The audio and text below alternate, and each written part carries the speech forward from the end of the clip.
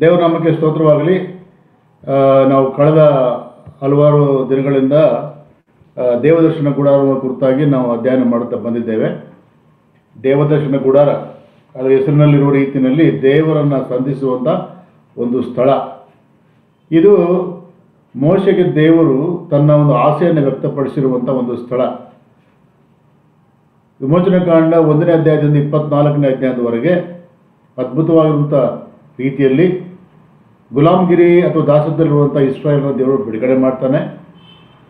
ಅವರು ಕೆಂಪು ಸಮುದ್ರವನ್ನು ದಾಟಿದ ಮೇಲೆ ದೇವರು ಏನು ಮಾಡ್ತಾನೆ ಅಂತಂದರೆ, ನನ್ನ ಜನರ ಮಧ್ಯದಲ್ಲಿ ನಾನು ನಿವಾಸ ಮಾಡಬೇಕು ನನಗೋಸ್ಕರವಾಗಿ ಒಂದು ದೇವದರ್ಶನ ಗುಡಾರವನ್ನು ನೇಮ್, ನಿರ್ಮಿಸು ಎಂಬುದಾಗಿ ಮೋಶೆಗೆ, ಅದನ್ನು ಯಾವ ರೀತಿಯಾಗಿ ನಿರ್ಮಿಸಬೇಕೆಂಬುದಾಗಿ ಎಲ್ಲವನ್ನು ಕೂಡ ಆತನು ತಿಳಿಸಿ, ಅದರಲ್ಲಿರುವಂಥ ಸತ್ಯಾಂಶಗಳೆಲ್ಲವನ್ನು ಕೂಡ ಅದನ್ನು ವಿವರಿಸ್ತಾನೆ ಉದಾಹರಣೆಗೆ ಆದಿಕಾಂಡ ಒಂದು ಮತ್ತು ಎರಡನೇ ಅಧ್ಯಾಯದಲ್ಲಿ ದೇವರು ಈ ಭೂಲೋಕವನ್ನು ಯಾವ ರೀತಿಯಾಗಿ ಉಂಟು ಮಾಡಿದನು, ಮನುಷ್ಯನು ಯಾವ ರೀತಿ ಉಂಟು ಮಾಡಿದನು ಎಂಬುದಾಗಿ ಇಡೀ ಎರಡು ಇಡೀ ಸೃಷ್ಟಿಯ ಕ್ರಮವನ್ನು ಕೇವಲ ಎರಡು ಅಧ್ಯಾಯಗಳಲ್ಲಿ ಹೇಳಿ ಮುಗಿಸ್ಬಿಡ್ತಾನೆ. ಆದರೆ ದೇವದರ್ಶನ ಗುಡಾರಕ್ಕೆ ಬರುವ ಸಂದರ್ಭದಲ್ಲಿ ಸುಮಾರು ನಲವತ್ನಾಲ್ಕು ಅಧ್ಯಾಯಗಳನ್ನು ದೇವರು ವಿವರಿಸಲಿಕ್ಕೆ ಉಪಯೋಗಿಸ್ಕೊಳ್ತಾನೆ. ಅದನ್ನು ನೋಡುವಾಗ ದೇವದರ್ಶನ ಗುಡಾರದ ಅಧ್ಯಾಯ ಅದೆಷ್ಟು ಪ್ರಾಮುಖ್ಯ ಎನ್ನುವಂಥದ್ದು ನಾವು ಅರ್ಥ ಮಾಡಿಕೊಳ್ಳಬೇಕು. ವಿಮೋಚಿಸಲ್ಪಟ್ಟಿರುವ ಜನಾಂಗದ ಮಧ್ಯೆ ನಾನು ನಿವಾಸ ಮಾಡುತ್ತೇನೆ. ಆ ನಿವಾಸ ಮಾಡುವಂಥ ಸ್ಥಳಕ್ಕೆ ದೇವದರ್ಶನ ಗುಡಾರ ಎಂಬುದಾಗಿ ನಾವು ನೋಡ್ತೇವೆ. ಆ ದೇವದರ್ಶನ ಗುಡಾರ ಈ ರೀತಿಯಾಗಿರುತ್ತೆ. ಅದರಲ್ಲಿ ವರ ಆವರಣ ಮತ್ತು ದೇವದರ್ಶನ ಗುಡಾರ. ಆವರಣದಲ್ಲಿ ಎರಡು ವಸ್ತುಗಳು. ಒಂದು ತಾಮ್ರದ ಯಜ್ಞವೇದಿ ಮತ್ತು ಗಂಗಾಳ ಇರುತ್ತೆ. ಒಳಗಡೆ ನಾಲ್ಕು ಒಳಗಡೆ ಐದು ವಸ್ತುಗಳನ್ನು ನಾವು ಗಮನಿಸಬಹುದು. ಯಾವುದಂತಂದರೆ ಸನ್ನಿಧಿ ರೊಟ್ಟಿಯ ಮೇಜು, ದೀಪಸ್ತಂಭ, ಬಂಗಾರದ ಯಜ್ಞವೇದಿ ಮತ್ತು ತೆರೆ ತೆರೆ ಹಿಂದುಗಡೆ ಮಂಜೂಷ. ಈ ತೆರೆ ಎನ್ನುವಂಥದ್ದು ಏನು ಮಾಡಪ್ಪ ಅಂತ ಅಂತಂದರೆ ಈ ಒಂದು ದೇವದರ್ಶನ ಗುಡಾರವನ್ನು ಎರಡು ಭಾಗವಾಗಿ ಮಾಡಿ ಮುಂಭಾಗದನ್ನು ಪರಿಶುದ್ಧ ಸ್ಥಳ ಎಂಬುದಾಗಿಯೂ ತೆರೆ ಹಿಂದುಗಡೆಯಲ್ಲಿರುವಂಥ ಸಣ್ಣ ಸ್ಥಳವನ್ನು ಅತಿ ಪರಿಶುದ್ಧ ಎಂಬುದಾಗಿಯೂ ಪರಿಗಣಿಸುವಂಥ ರೀತಿಯಲ್ಲಿ ತೆರೆ ಏನು ಮಾಡುತ್ತೆ? ಈ ದೇವದರ್ಶನ ಗುಡಾರವನ್ನು ಎರಡು ಭಾಗ ಮಾಡಿ ಆಗ್ತದೆ ಅತಿ ಪರಿಶುದ್ಧ ಸ್ಥಳದಲ್ಲಿ ದೇವರ ಸಾನ್ನಿಧ್ಯ, ಆ ಒಂದು ಕೃಪಾಸನದ ಮೇಲೆ ದೇವರ ಒಂದು ಬೆಳಕಿನ ರೀತಿಯಲ್ಲಿ ಆತನ ಸಾನ್ನಿಧ್ಯವನ್ನು ಅಲ್ಲಿ ಕೊಡುವಂಥದ್ದು ನೋಡ್ತಾ ಇದ್ದೇವೆ. ಈ ದೇವದರ್ಶನ ಗುಡಾರದಲ್ಲಿರುವಂಥ ಪ್ರಾಮುಖ್ಯವಾಗಿರುವಂಥ ಏಳು ವಸ್ತುಗಳು ಕೂಡ, ಒಂದೊಂದು ವಸ್ತು ಕೂಡ ಅದು ಯಾವ ರೀತಿಯಾಗಿ ನಮ್ಮ ರಕ್ಷಕನಾಗಿರುವಂಥ ಯೇಸು ಕ್ರಿಸ್ತನನ್ನು ಅದು ಹೋಲುತ್ತದೆ ಎನ್ನುವಂಥ ಸಂಗತಿಯನ್ನು ನಾವು ವಿವರವಾಗಿ ನಾವು ಕೇಳ್ಕೊಂಡು ಬಂದಿದ್ದೇವೆ. ಮೊದಲನೇದಾಗಿ ಮಂಜುಷ, ಅದು ಯಾವ ರೀತಿಯಾಗಿ ಯೇಸು ಕ್ರಿಸ್ತನ ಹೋಲಿಸುತ್ತದೆ. ಮತ್ತು ಯಾವ ರೀತಿಯಾಗಿ ಆ ಮಂಜೂಷದ ಮೇಲಿರುವಂಥ ಕೃಪಾಸನ ಇದೆಯಲ್ಲ, ಅದರ ಮೇಲೆ ದೇವರ ಬೆಳಕು ನಿವಾಸ ಮಾಡಿ ದೇವರ ಪ್ರಸನ್ನತೆಯನ್ನು ಇಸ್ರಾಯೇಲ್ ಮಧ್ಯದಲ್ಲಿ ಇಟ್ಟಿದ್ದೇನೆ ಎಂಬುದಾಗಿ ಕೇಳಿದ್ದೇವೆ ಎರಡನೇದಾಗಿ ತೆರೆಯ ಕುರಿತಾಗಿ ನಾವು ಇನ್ನೂ ಕಲಿಲಿಕ್ಕಿದ್ದೇವೆ. ಮೂರನೇದಾಗಿ ಯಜ್ಞವೇದಿಯನ್ನು ಕುರಿತಾಗಿ ನಾವು ಇವತ್ತು ಕಲಿಲಿಕ್ಕಿದ್ದೇವೆ. ನಾಲ್ಕನೇದಾಗಿ ದೀಪಸ್ತಂಭವನ್ನು ನಾವು ಆಗಲೇ ಕಲ್ತಿದ್ದೇವೆ. ಮತ್ತು ಐದನೇದಾಗಿ ಸನ್ನಿಧಿ ರೊಟ್ಟಿಗಳ ಆ ಮೇಜನ್ನು ಕುರಿತಾಗಿ ಕೂಡ ನಾವು ಆಗಲೇ ಕಲ್ತಿದ್ದೇವೆ. ಮತ್ತು ಆರನೇದಾಗಿ ಗಂಗಳವನ್ನು ಕೂಡ ನಾವು ಆಗಲೇ ಕಲ್ತಿದ್ದೇವೆ. ಏಳನೇದಾಗಿ ನಾವು ಈ ಒಂದು ತಾಮ್ರದ ಯಜ್ಞವೇದಿ ಇದರ ಕುರಿತಾಗಿ ಕೂಡ ಅಲ್ಲಿ ಬಲಿಗಳನ್ನು ಯಾವ ರೀತಿ ಅರ್ಪಿಸುತ್ತಾರೆ ಎಂಬುದಾಗಿ ಕೂಡ ನಾವು ಈಗಾಗಲೇ ಕಲ್ತಿದ್ದೇವೆ. ಈ ತಾಮ್ರದ ಯಜ್ಞವೇದಿ ಮತ್ತು ಗಂಗಳವನ್ನು ಕಲಿತ ಮೇಲೆ ನಾವು ಯಜ್ಞವೇದಿ ಕುರಿತಾಗಿ ಇವತ್ತು ನಾವು ಕಲಿಲಿಕ್ಕಿದ್ದೇವೆ. ಈ ಯಜ್ಞವೇದಿ ಎಲ್ಲಿರುತ್ತೆ ಅಂತಂದರೆ, ನಾನಾಗಲೇ ನಿಮಗೆ ಹೇಳಿದ ರೀತಿಯಲ್ಲಿ ಈ ತೆರೆಯ ಮುಂದುಗಡೆಯಲ್ಲಿ, ಈ ತೆರೆ ಇದೆ. ತೆರೆಯ ಮುಂದುಗಡೆಯಲ್ಲಿ ಅತಿ ಪರಿಶುದ್ಧ ಸ್ಥಳದಲ್ಲಿ ಈ ಯಜ್ಞವೇದಿ ಇರುತ್ತದೆ ಎಂಬುದಾಗಿ ನಾವು ಕಲಿತುಕೊಳ್ಳಬೇಕು. ಈ ಯಜ್ಞವೇದಿ ಕುರಿತಾಗಿ ಒಂದು ಪ್ರಸ್ತಾಪವನ್ನು ಕೂಡ ನಾವು ಯಹೋನ್ ಬದ ಸುವಾರ್ತೆಯಲ್ಲಿ ನಾವು ನೋಡ್ತೇವಲ್ಲ ಮತ್ತಾರ ಸುವಾರ್ತೆಯಲ್ಲಿ ನೋಡ್ತೇವೆ. ಯಾವಾಗ ಜಕ್ರಾಯನ ಒಂದು ಜಕ್ರಾಯನ ಧೂಪವನ್ನು ಹಾಕುತ್ತಿರುವಂಥ ಸಂದರ್ಭದಲ್ಲಿ ಕರ್ತನ ದೂತನು ಆತನಿಗೆ ಕಾಣಿಸ್ಕೊಳ್ಳುವಂಥದ್ದು ಮತ್ತು ಎಲಿಸಬೆತ್ತಳಾಗಿರುವಂಥ ಆಕೆ, ಆತನ ಪತ್, ಆಕೆ, ಆತನ ಪತ್ನಿಯು ಯಾವ ರೀತಿಯಾಗಿ ಜನವನ, ಜನನವನ್ನು ಕೊಡಲಿಕ್ಕಿದ್ದಾನೆ ಎನ್ನುವಂಥ ಸಂಗತಿಯನ್ನು ಕೂಡ ಜಕರೇಯನಿಗೆ ದೇವರು ಹೇಳುವಂಥ ಒಂದು ಕಾರ್ಯವನ್ನು ನಾವು ಸುವಾರ್ತೆಗಳಲ್ಲಿ ಸ್ಪಷ್ಟವಾಗಿ ನೋಡುತ್ತೇವೆ. ಆ ಒಂದು ಸಂದರ್ಭದಲ್ಲಿ ಉಂಟಾಗಿರುವಂಥ ಒಂದು ಸಂಗತಿಯನ್ನು ಕೂಡ ನಾವು ಗಮನಿಸುವಂಥದ್ದು ಏನಂತಂದರೆ, ಆತನು ಯಜ್ಞವೇದಿಯ ಮೇಲೆ ಧೂಪವನ್ನು ಹಾಕುತ್ತಿರುವಂಥ ಸಂದರ್ಭದಲ್ಲಿ ಗಬ್ರಿಯಲ್ ದೂತನ ಕಂಡುಕೊಂಡಾಗ ಅವನ ಕಾಲುಗಳು ನಡಗಿದವು ಎಂಬುದಾಗಿ ನೋಡ್ತೇವೆ ಯಾಕಂದರೆ ದೂತನು ಬಂದಂತಂದರೆ ಏನು ಅಪವಿತ್ರವಾಗಿರುವಂಥ ಒಂದು ಜೀವಿತ ಸಂದರ್ಭದಲ್ಲಿ ಆದರೆ ಅಲ್ಲಿ ಆತನು ಸಾಯುತ್ತಾನೆ. ಆ ಸಾವಿನ ಒಂದು ಹೆದರಿಕೆ ಆತನಿಗೆ ಉಂಟಾಗ್ತದೆ. ಆದರೆ ಆತನು ಹೇಳುವಂಥ ಸಂಗತಿ ಏನಪ್ಪ ಅಂತಂದರೆ, ದೂತನು ಹೇಳುವಂಥದ್ದು ಹೆದರಬೇಡ ಅಂತೇಳಿ ಅದು ಲೂಕನ ಸುವಾರ್ತೆಯಲ್ಲಿ ನಾವು ನೋಡ್ತೇವೆ. ಹೆದರಬೇಡ. ನಿನಗೆ ಒಬ್ಬ ಮಗನನ್ನು ಕೊಡಲಿಕ್ಕಿದ್ದೇನೆ. ಆತನು ಮಹಾಪುರುಷನಾಗ್ತಾನೆ ಮತ್ತು ಆತನ ಪವಿತ್ರಾತ್ಮದಿಂದ ಹುಟ್ಟಿದಿಂದಲೇ ತುಂಬಿದಂತವನಾಗಿರುತ್ತಾನೆ ಆತನು ಕಥಾ ಯೇಸು ಕ್ರಿಸ್ತನ ಮುಂದೂತನಾಗಿ ಆತನು ಎಂಬುವಂಥ ಒಂದು ಸಂತೋಷದ ಸುದ್ದಿಯನ್ನು ಜಕರನಿಗೆ ಹೇಳುವಂಥ ಮಾತು ಈ ಒಂದು ಬಂಗಾರದ ಯಜ್ಞವೇದಿಯ ಬಳಿಯಲ್ಲಿ ಆತನು ಧೂಪವಾಕುವಂಥ ಸಂದರ್ಭದಲ್ಲಿ ಉಂಟಾಗಿರುವಂಥ ಒಂದು ಕಾರ್ಯ ಅದು. ಸೊ ಇವತ್ತು ಈ ಯಜ್ಞವೇದಿಯನ್ನು ಕುರಿತಾಗಿ ನಾವು ಧ್ಯಾನ ಮಾಡಲಿಕ್ಕಿದ್ದೇವೆ. ಈ ಯಜ್ಞವೇದಿ ಆದಮೇಲೆ ನಾವು ತೆರೆ ಕುರಿತಾಗಿ ನಾವು ಧ್ಯಾನ ಮಾಡೋಣ. ಈ ಯಜ್ಞವೇದಿಯ ಕ್ಲೋಸ್ ಲುಕ್ ಈ ರೀತಿಯಾಗಿರುತ್ತೆ ಇದು ಯಜ್ಞವೇದಿ ಆದರಿಂದ ಮಾಡಲ್ಪಟ್ಟಿರುತ್ತೆ ಅಂತಂದರೆ ಅದು ಜಾಲಿ ಮರದಿಂದ ಮಾಡಲ್ಪಟ್ಟಿರುತ್ತೆ. ಮತ್ತು ಜಾಲಿ ಮರದಿಂದ ಮಾಡಲ್ಪಟ್ಟಿರುವಂಥ ಈ ಒಂದು ಪೆಟ್ಟಿಗೆ ರೀತಿಯಾಗಿರುತ್ತೆ ಯಜ್ಞವೇದಿಗೆ ಬಂಗಾರದ ತಗಡುಗಳನ್ನು ಹಾಕ್ತಾರೆ. ಬಂಗಾರದ ತಗಡುಗಳನ್ನು ಹಾಕ್ತಾರೆ. ಇವೆರಡು ತೋರಿಸುವಂಥದ್ದು ಏನಪ್ಪ ಅಂತಂದರೆ ಜಾಲಿ ಮರ ಅದು ಕೊಳೆಯೋದಿಲ್ಲ ಅದು. ಅದು ದೀರ್ಘಕಾಲ ಇರುವಂಥ ಒಂದು ಮರ. ಅದೇನು ತೋರಿಸೋದಪ್ಪ ಅಂತಂದರೆ ನಮ್ಮ ರಕ್ಷಕನಾಗಿರುವಂಥ ಯೇಸು ಕ್ರಿಸ್ತನ ಶರೀರವನ್ನು ತೋರಿಸ್ತದೆ. ಆತನ ಶರೀರವನ್ನು ದೇವರು ಕೊಳಿಲಿಕ್ಕೆ ಬಿಡಲ್ಲ. ಪುನರುತ್ಥಾನವಾಗುವಂಥ ಕ್ರಿಸ್ತನನ್ನು ನಾವಲ್ಲಿ ಗಮನಿಸುತ್ತೇವೆ. ಜಾಲಿ ಮರದ ಮೇಲೆ ಇವರು ಬಂಗಾರದ ತಗಡುಗಳನ್ನು ಹಾಕಿ ಮುಚ್ಚುತ್ತಾರೆ. ಈ ಬಂಗಾರದ ತಗಡು ನಮ್ಮ ರಕ್ಷಕನಾದಂಥ ಯೇಸು ಕ್ರಿಸ್ತನ ದೈವತ್ವವನ್ನು ಸೂಚಿಸುವಂಥದ್ದು. ದೈವತ್ವವು ಶರೀರವನ್ನು ಅದು ಮುಸ್ಕುರುವಂಥ ರೀತಿಯಲ್ಲಿ ನಮ್ಮ ರಕ್ಷಕ ಯೇಸು ಕ್ರಿಸ್ತನು ಜೀವಿಸ್ತಾನೆ ಈ ಲೋಕದಲ್ಲಿ. ಆತನು ಶರೀರಧಾರಿಯಾಗಿದ್ದರೂ ಕೂಡ ಆತನು ದೇವರು ತಾನೇ ಆಗಿದ್ದನು ಅನ್ನುವಂಥದ್ದನ್ನು ಕಲಿಬೇಕು. ಅದರ ಜೊತೆಗೆ ನಾವು ಗಮನಿಸುವಂಥ ಮಾತು, ದಯಮಾಡಿ ಯಾರೋ ಒಬ್ಬರು ಈ ಯಜ್ಞವೇದಿ ಕುರಿತಾಗಿ ಸ್ವಲ್ಪ ವಾಕ್ಯವನ್ನು ಓದಿದರೆ ಒಳ್ಳೆಯದು ವಿಮೋಚನ ಕಾಂಡ ಮೂವತ್ತನೇ ಅಧ್ಯಾಯ, ಮೊದಲನೇ ವಚನದಿಂದ ಹತ್ತನೇ ವಚನದವರೆಗೆ ಯಾರು ದಯಮಾಡಿ ಓದ್ರಿ. ವಿಮೋಚನ ಕಾಂಡ ಮೂವತ್ತನೇ ಅಧ್ಯಾಯ ಈ ಯಜ್ಞವೇದಿಯ ವಿವರಗಳನ್ನು ಯಾತಕ್ಕೋಸ್ಕರವಾಗಿ ಯಾವ ರೀತಿಯಾಗಿ ಕಟ್ಟಲ್ಪಟ್ಟಿದೆ ಎನ್ನುವಂಥದ್ದನ್ನು ನಾವು ಅಲ್ಲಿ ಓದ್ತೇವೆ. ಅದಾದಮೇಲೆ ನಾನು ವಿವರಿಸ್ಕೊಂಡು ಹೋಗ್ತೇನೆ. ದಯಮಾಡಿ ವಿಮೋಚನ ಕಾಂಡ ಮೂವತ್ತನೇ ಅಧ್ಯಾಯ ಒಂದರಿಂದ ಹತ್ತನೇ ವಚನದವರೆಗೆ.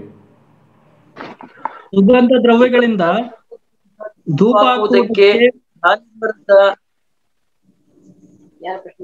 ಜಾಲಿ ಮರದ ಧೂಪವೇದಿಯನ್ನು ಮಾಡಿಸಬೇಕು. ಅದು ಒಂದು ಮುಳ ಉದ್ದವಾಗಿಯೂ ಒಂದು ಮುಳ ಅಗಲವಾಗಿಯೂ ಚೌಚೌಕವಾಗಿರಬೇಕು, ಅದರ ಎತ್ತರವು ಎರಡು ಮೊಳವಾಗಿರಬೇಕು, ಅದರ ಕೊಂಬುಗಳು ಅದರೊಂದಿಗೆ ಏಕವಾಗಿರಬೇಕು, ಅದರ ಮೇಲ್ಭಾಗಕ್ಕೂ ನಾಲ್ಕು ಪಕ್ಕಗಳಿಗೂ, ಪಕ್ಕೆಗಳಿಗೂ ಕೊಂಬುಗಳು, ಕೊಂಬುಗಳಿಗೂ ಚೊಕ್ಕ ಬಂಗಾರದ ತಗಡುಗಳನ್ನು ಒದಗಿಸಬೇಕು, ಸುತ್ತಲೂ ಚಿನ್ನದ ಗೋಟು ಕಟ್ಟಿಸಬೇಕು, ಅದರ ಕೆಳಗೆ ವೇದಿಯ ಎರಡು ಪಾರ್ಶ್ವಗಳಲ್ಲಿ ಎರಡೆರಡು ಚಿನ್ನದ ಬಳೆಗಳನ್ನು ಮೂಲೆಗಳಲ್ಲಿಯೇ ಹಾಕಿಸಬೇಕು. ವೇದಿಯನ್ನು ಹೊರುವುದಕ್ಕೆ ಕೋಲುಗಳನ್ನು ಅವುಗಳಲ್ಲಿ ಸೇರಿಸಬೇಕು. ಆ ಕೋಲುಗಳನ್ನು ಜಾಲಿ ಮರದಿಂದ ಮಾಡಿಸಿ ಅವುಗಳಿಗೆ ಚಿನ್ನದ ತಗಡುಗಳನ್ನು ಒದಗಿಸ ಒದಿಸಬೇಕು ಆಜ್ಞಾ ಶಾಸನಗಳ ಮಂಜೂಷದ ಮುಂದ, ಮುಂದಣ ತೆರೆಗೆ ಎದುರಾಗಿ ಅಂದರೆ ಆಜ್ಞಾ ಶಾಸನಗಳ ಮೇಲಿರುವಂತ ಮತ್ತು ನಾನು ನಿನಗೆ ದರ್ಶನ ಕೊಡುವಂತ ಕೃಪಾಸನದ ಮುಂದೆ ಅದನ್ನು ಇರಿಸಬೇಕು. ಆರೋನನು ಪ್ರತಿನಿತ್ಯವೂ ಹೊತ್ತಾರೆಯಲ್ಲಿ ದೀಪಗಳನ್ನು ಸರಿಪಡಿಸುವಾಗಲೂ ಸಾಯಂಕಾಲದಲ್ಲಿ ದೀಪಗಳನ್ನು ಹೊತ್ತಿಸುವಾಗಲೂ ಅದರ ಮೇಲೆ ಸುಗಂಧ ದ್ರವ್ಯಗಳಿಂದ ಧೂಪವನ್ನು ಹಾಕಬೇಕು. ಹೀಗೆ ನೀವಿಬ್ಬರು ನಿಮ್ಮ ಸಂತತಿಯವರಿಂದಲೂ ಯಹೋವನ ಸನ್ನಿಧಿಯಲ್ಲಿ ನಿತ್ಯವಾದ ಧೂಪ ಸಮರ್ಪಣೆಯು ಇರಬೇಕು. ಆ ವೇದಿಯ ಮೇಲೆ ಬೇರೆ ಯಾವ ಧೂಪವನ್ನು ಹಾಕಕೂಡದು. ಅದರ ಮೇಲೆ ಹೋಮವನ್ನಾಗಲಿ, ಧಾನ್ಯ ದ್ರ- ದ್ರವ್ಯವನ್ನಾಗಲಿ ಪಾನ ದ್ರವ್ಯವನ್ನಾಗಲಿ ಸಮರ್ಪಿಸಕೂಡದು ಆರೋನನು ಅವನ ಸಂತತಿಯವರು ವರ್ಷಕ್ಕೊಮ್ಮೆ ದೋಷ ಪರಿಹಾರಕ ಯಜ್ಞ ಪಶುವಿನ ರಕ್ತವನ್ನು ಆ ವೇದಿಯ ಕೊಂಬುಗಳಿಗೆ ಹಚ್ಚಿ ಅದರ ವಿಷಯವಾಗಿ ದೋಷ ಪರಿಹಾರವನ್ನು ಮಾಡಬೇಕು ಎಂದು ಮಾಡಬೇಕು. ಅದು ಯಹೋವನಿಗೆ ಅತಿ ಪರಿಶುದ್ಧವಾಗಿದೆ. ಈ ವಾಕ್ಯ ಭಾಗದಲ್ಲಿ ಧೂಪವೇದಿಯ ಕ್ರಮ, ಅದರ ಒಂದು ಕನ್ಸ್ಟ್ರಕ್ಷನ್ನು ಮತ್ತು ಅದು ಯಾವ ರೀತಿಯಾಗಿರುವಂಥ ಮೆಟೀರಿಯಲ್ಗಳಿಂದ ಮಾಡಲ್ಪಟ್ಟಿದೆ ಮತ್ತು ಅದರ ಅಳತೆಗಳು ಮತ್ತು ಅಲ್ಲಿ ಯಾವ ರೀತಿಯಾಗಿ ಧೂಪವನ್ನು ಸಮರ್ಪಿಸಬೇಕು ಎನ್ನುವಂಥದ್ದನ್ನು ನಾವು ವಿವರಿಸಿ ನೋಡಿದ್ದೇವೆ. ಈಗಾಗಲೇ ನಾನು ಹೇಳಿದ ರೀತಿಯಲ್ಲಿ ಇದು ಜಾಲಿ ಮರದಿಂದ ಮಾಡಲ್ಪಟ್ಟಿರುವಂಥದ್ದು ಮತ್ತು ಚಿನ್ನದ ಹೊದಿಕೆಯನ್ನು ಹಾಕಿರುವಂಥದ್ದು ನಮ್ಮ ರಕ್ಷಕನಾದ ಯೇಸು ಕ್ರಿಸ್ತನ ಶರೀರ ಮತ್ತು ನಮ್ಮ ರಕ್ಷಕನಾದಂಥ ಯೇಸು ಕ್ರಿಸ್ತನ ದೈವತ್ವವನ್ನು ಸೂಚಿಸುವಂಥದ್ದು ಆಗಿದೆ. ಮೂರನೇ ಗಮನಿಸುವಂಥ ಮಾತು ಇಲ್ಲಿ ನಾವು ಗಮನಿಸುವಾಗ ಮೂರನೇ ವರ್ಷದಲ್ಲಿ ಸುತ್ತಲೂ ಚಿನ್ನದ ಗೋಟು ಕಟ್ಟಬೇಕು. ಸುತ್ತಲೂ ಚಿನ್ನದ ಗೋಟು ಅಂತಂದರೆ ಇದು.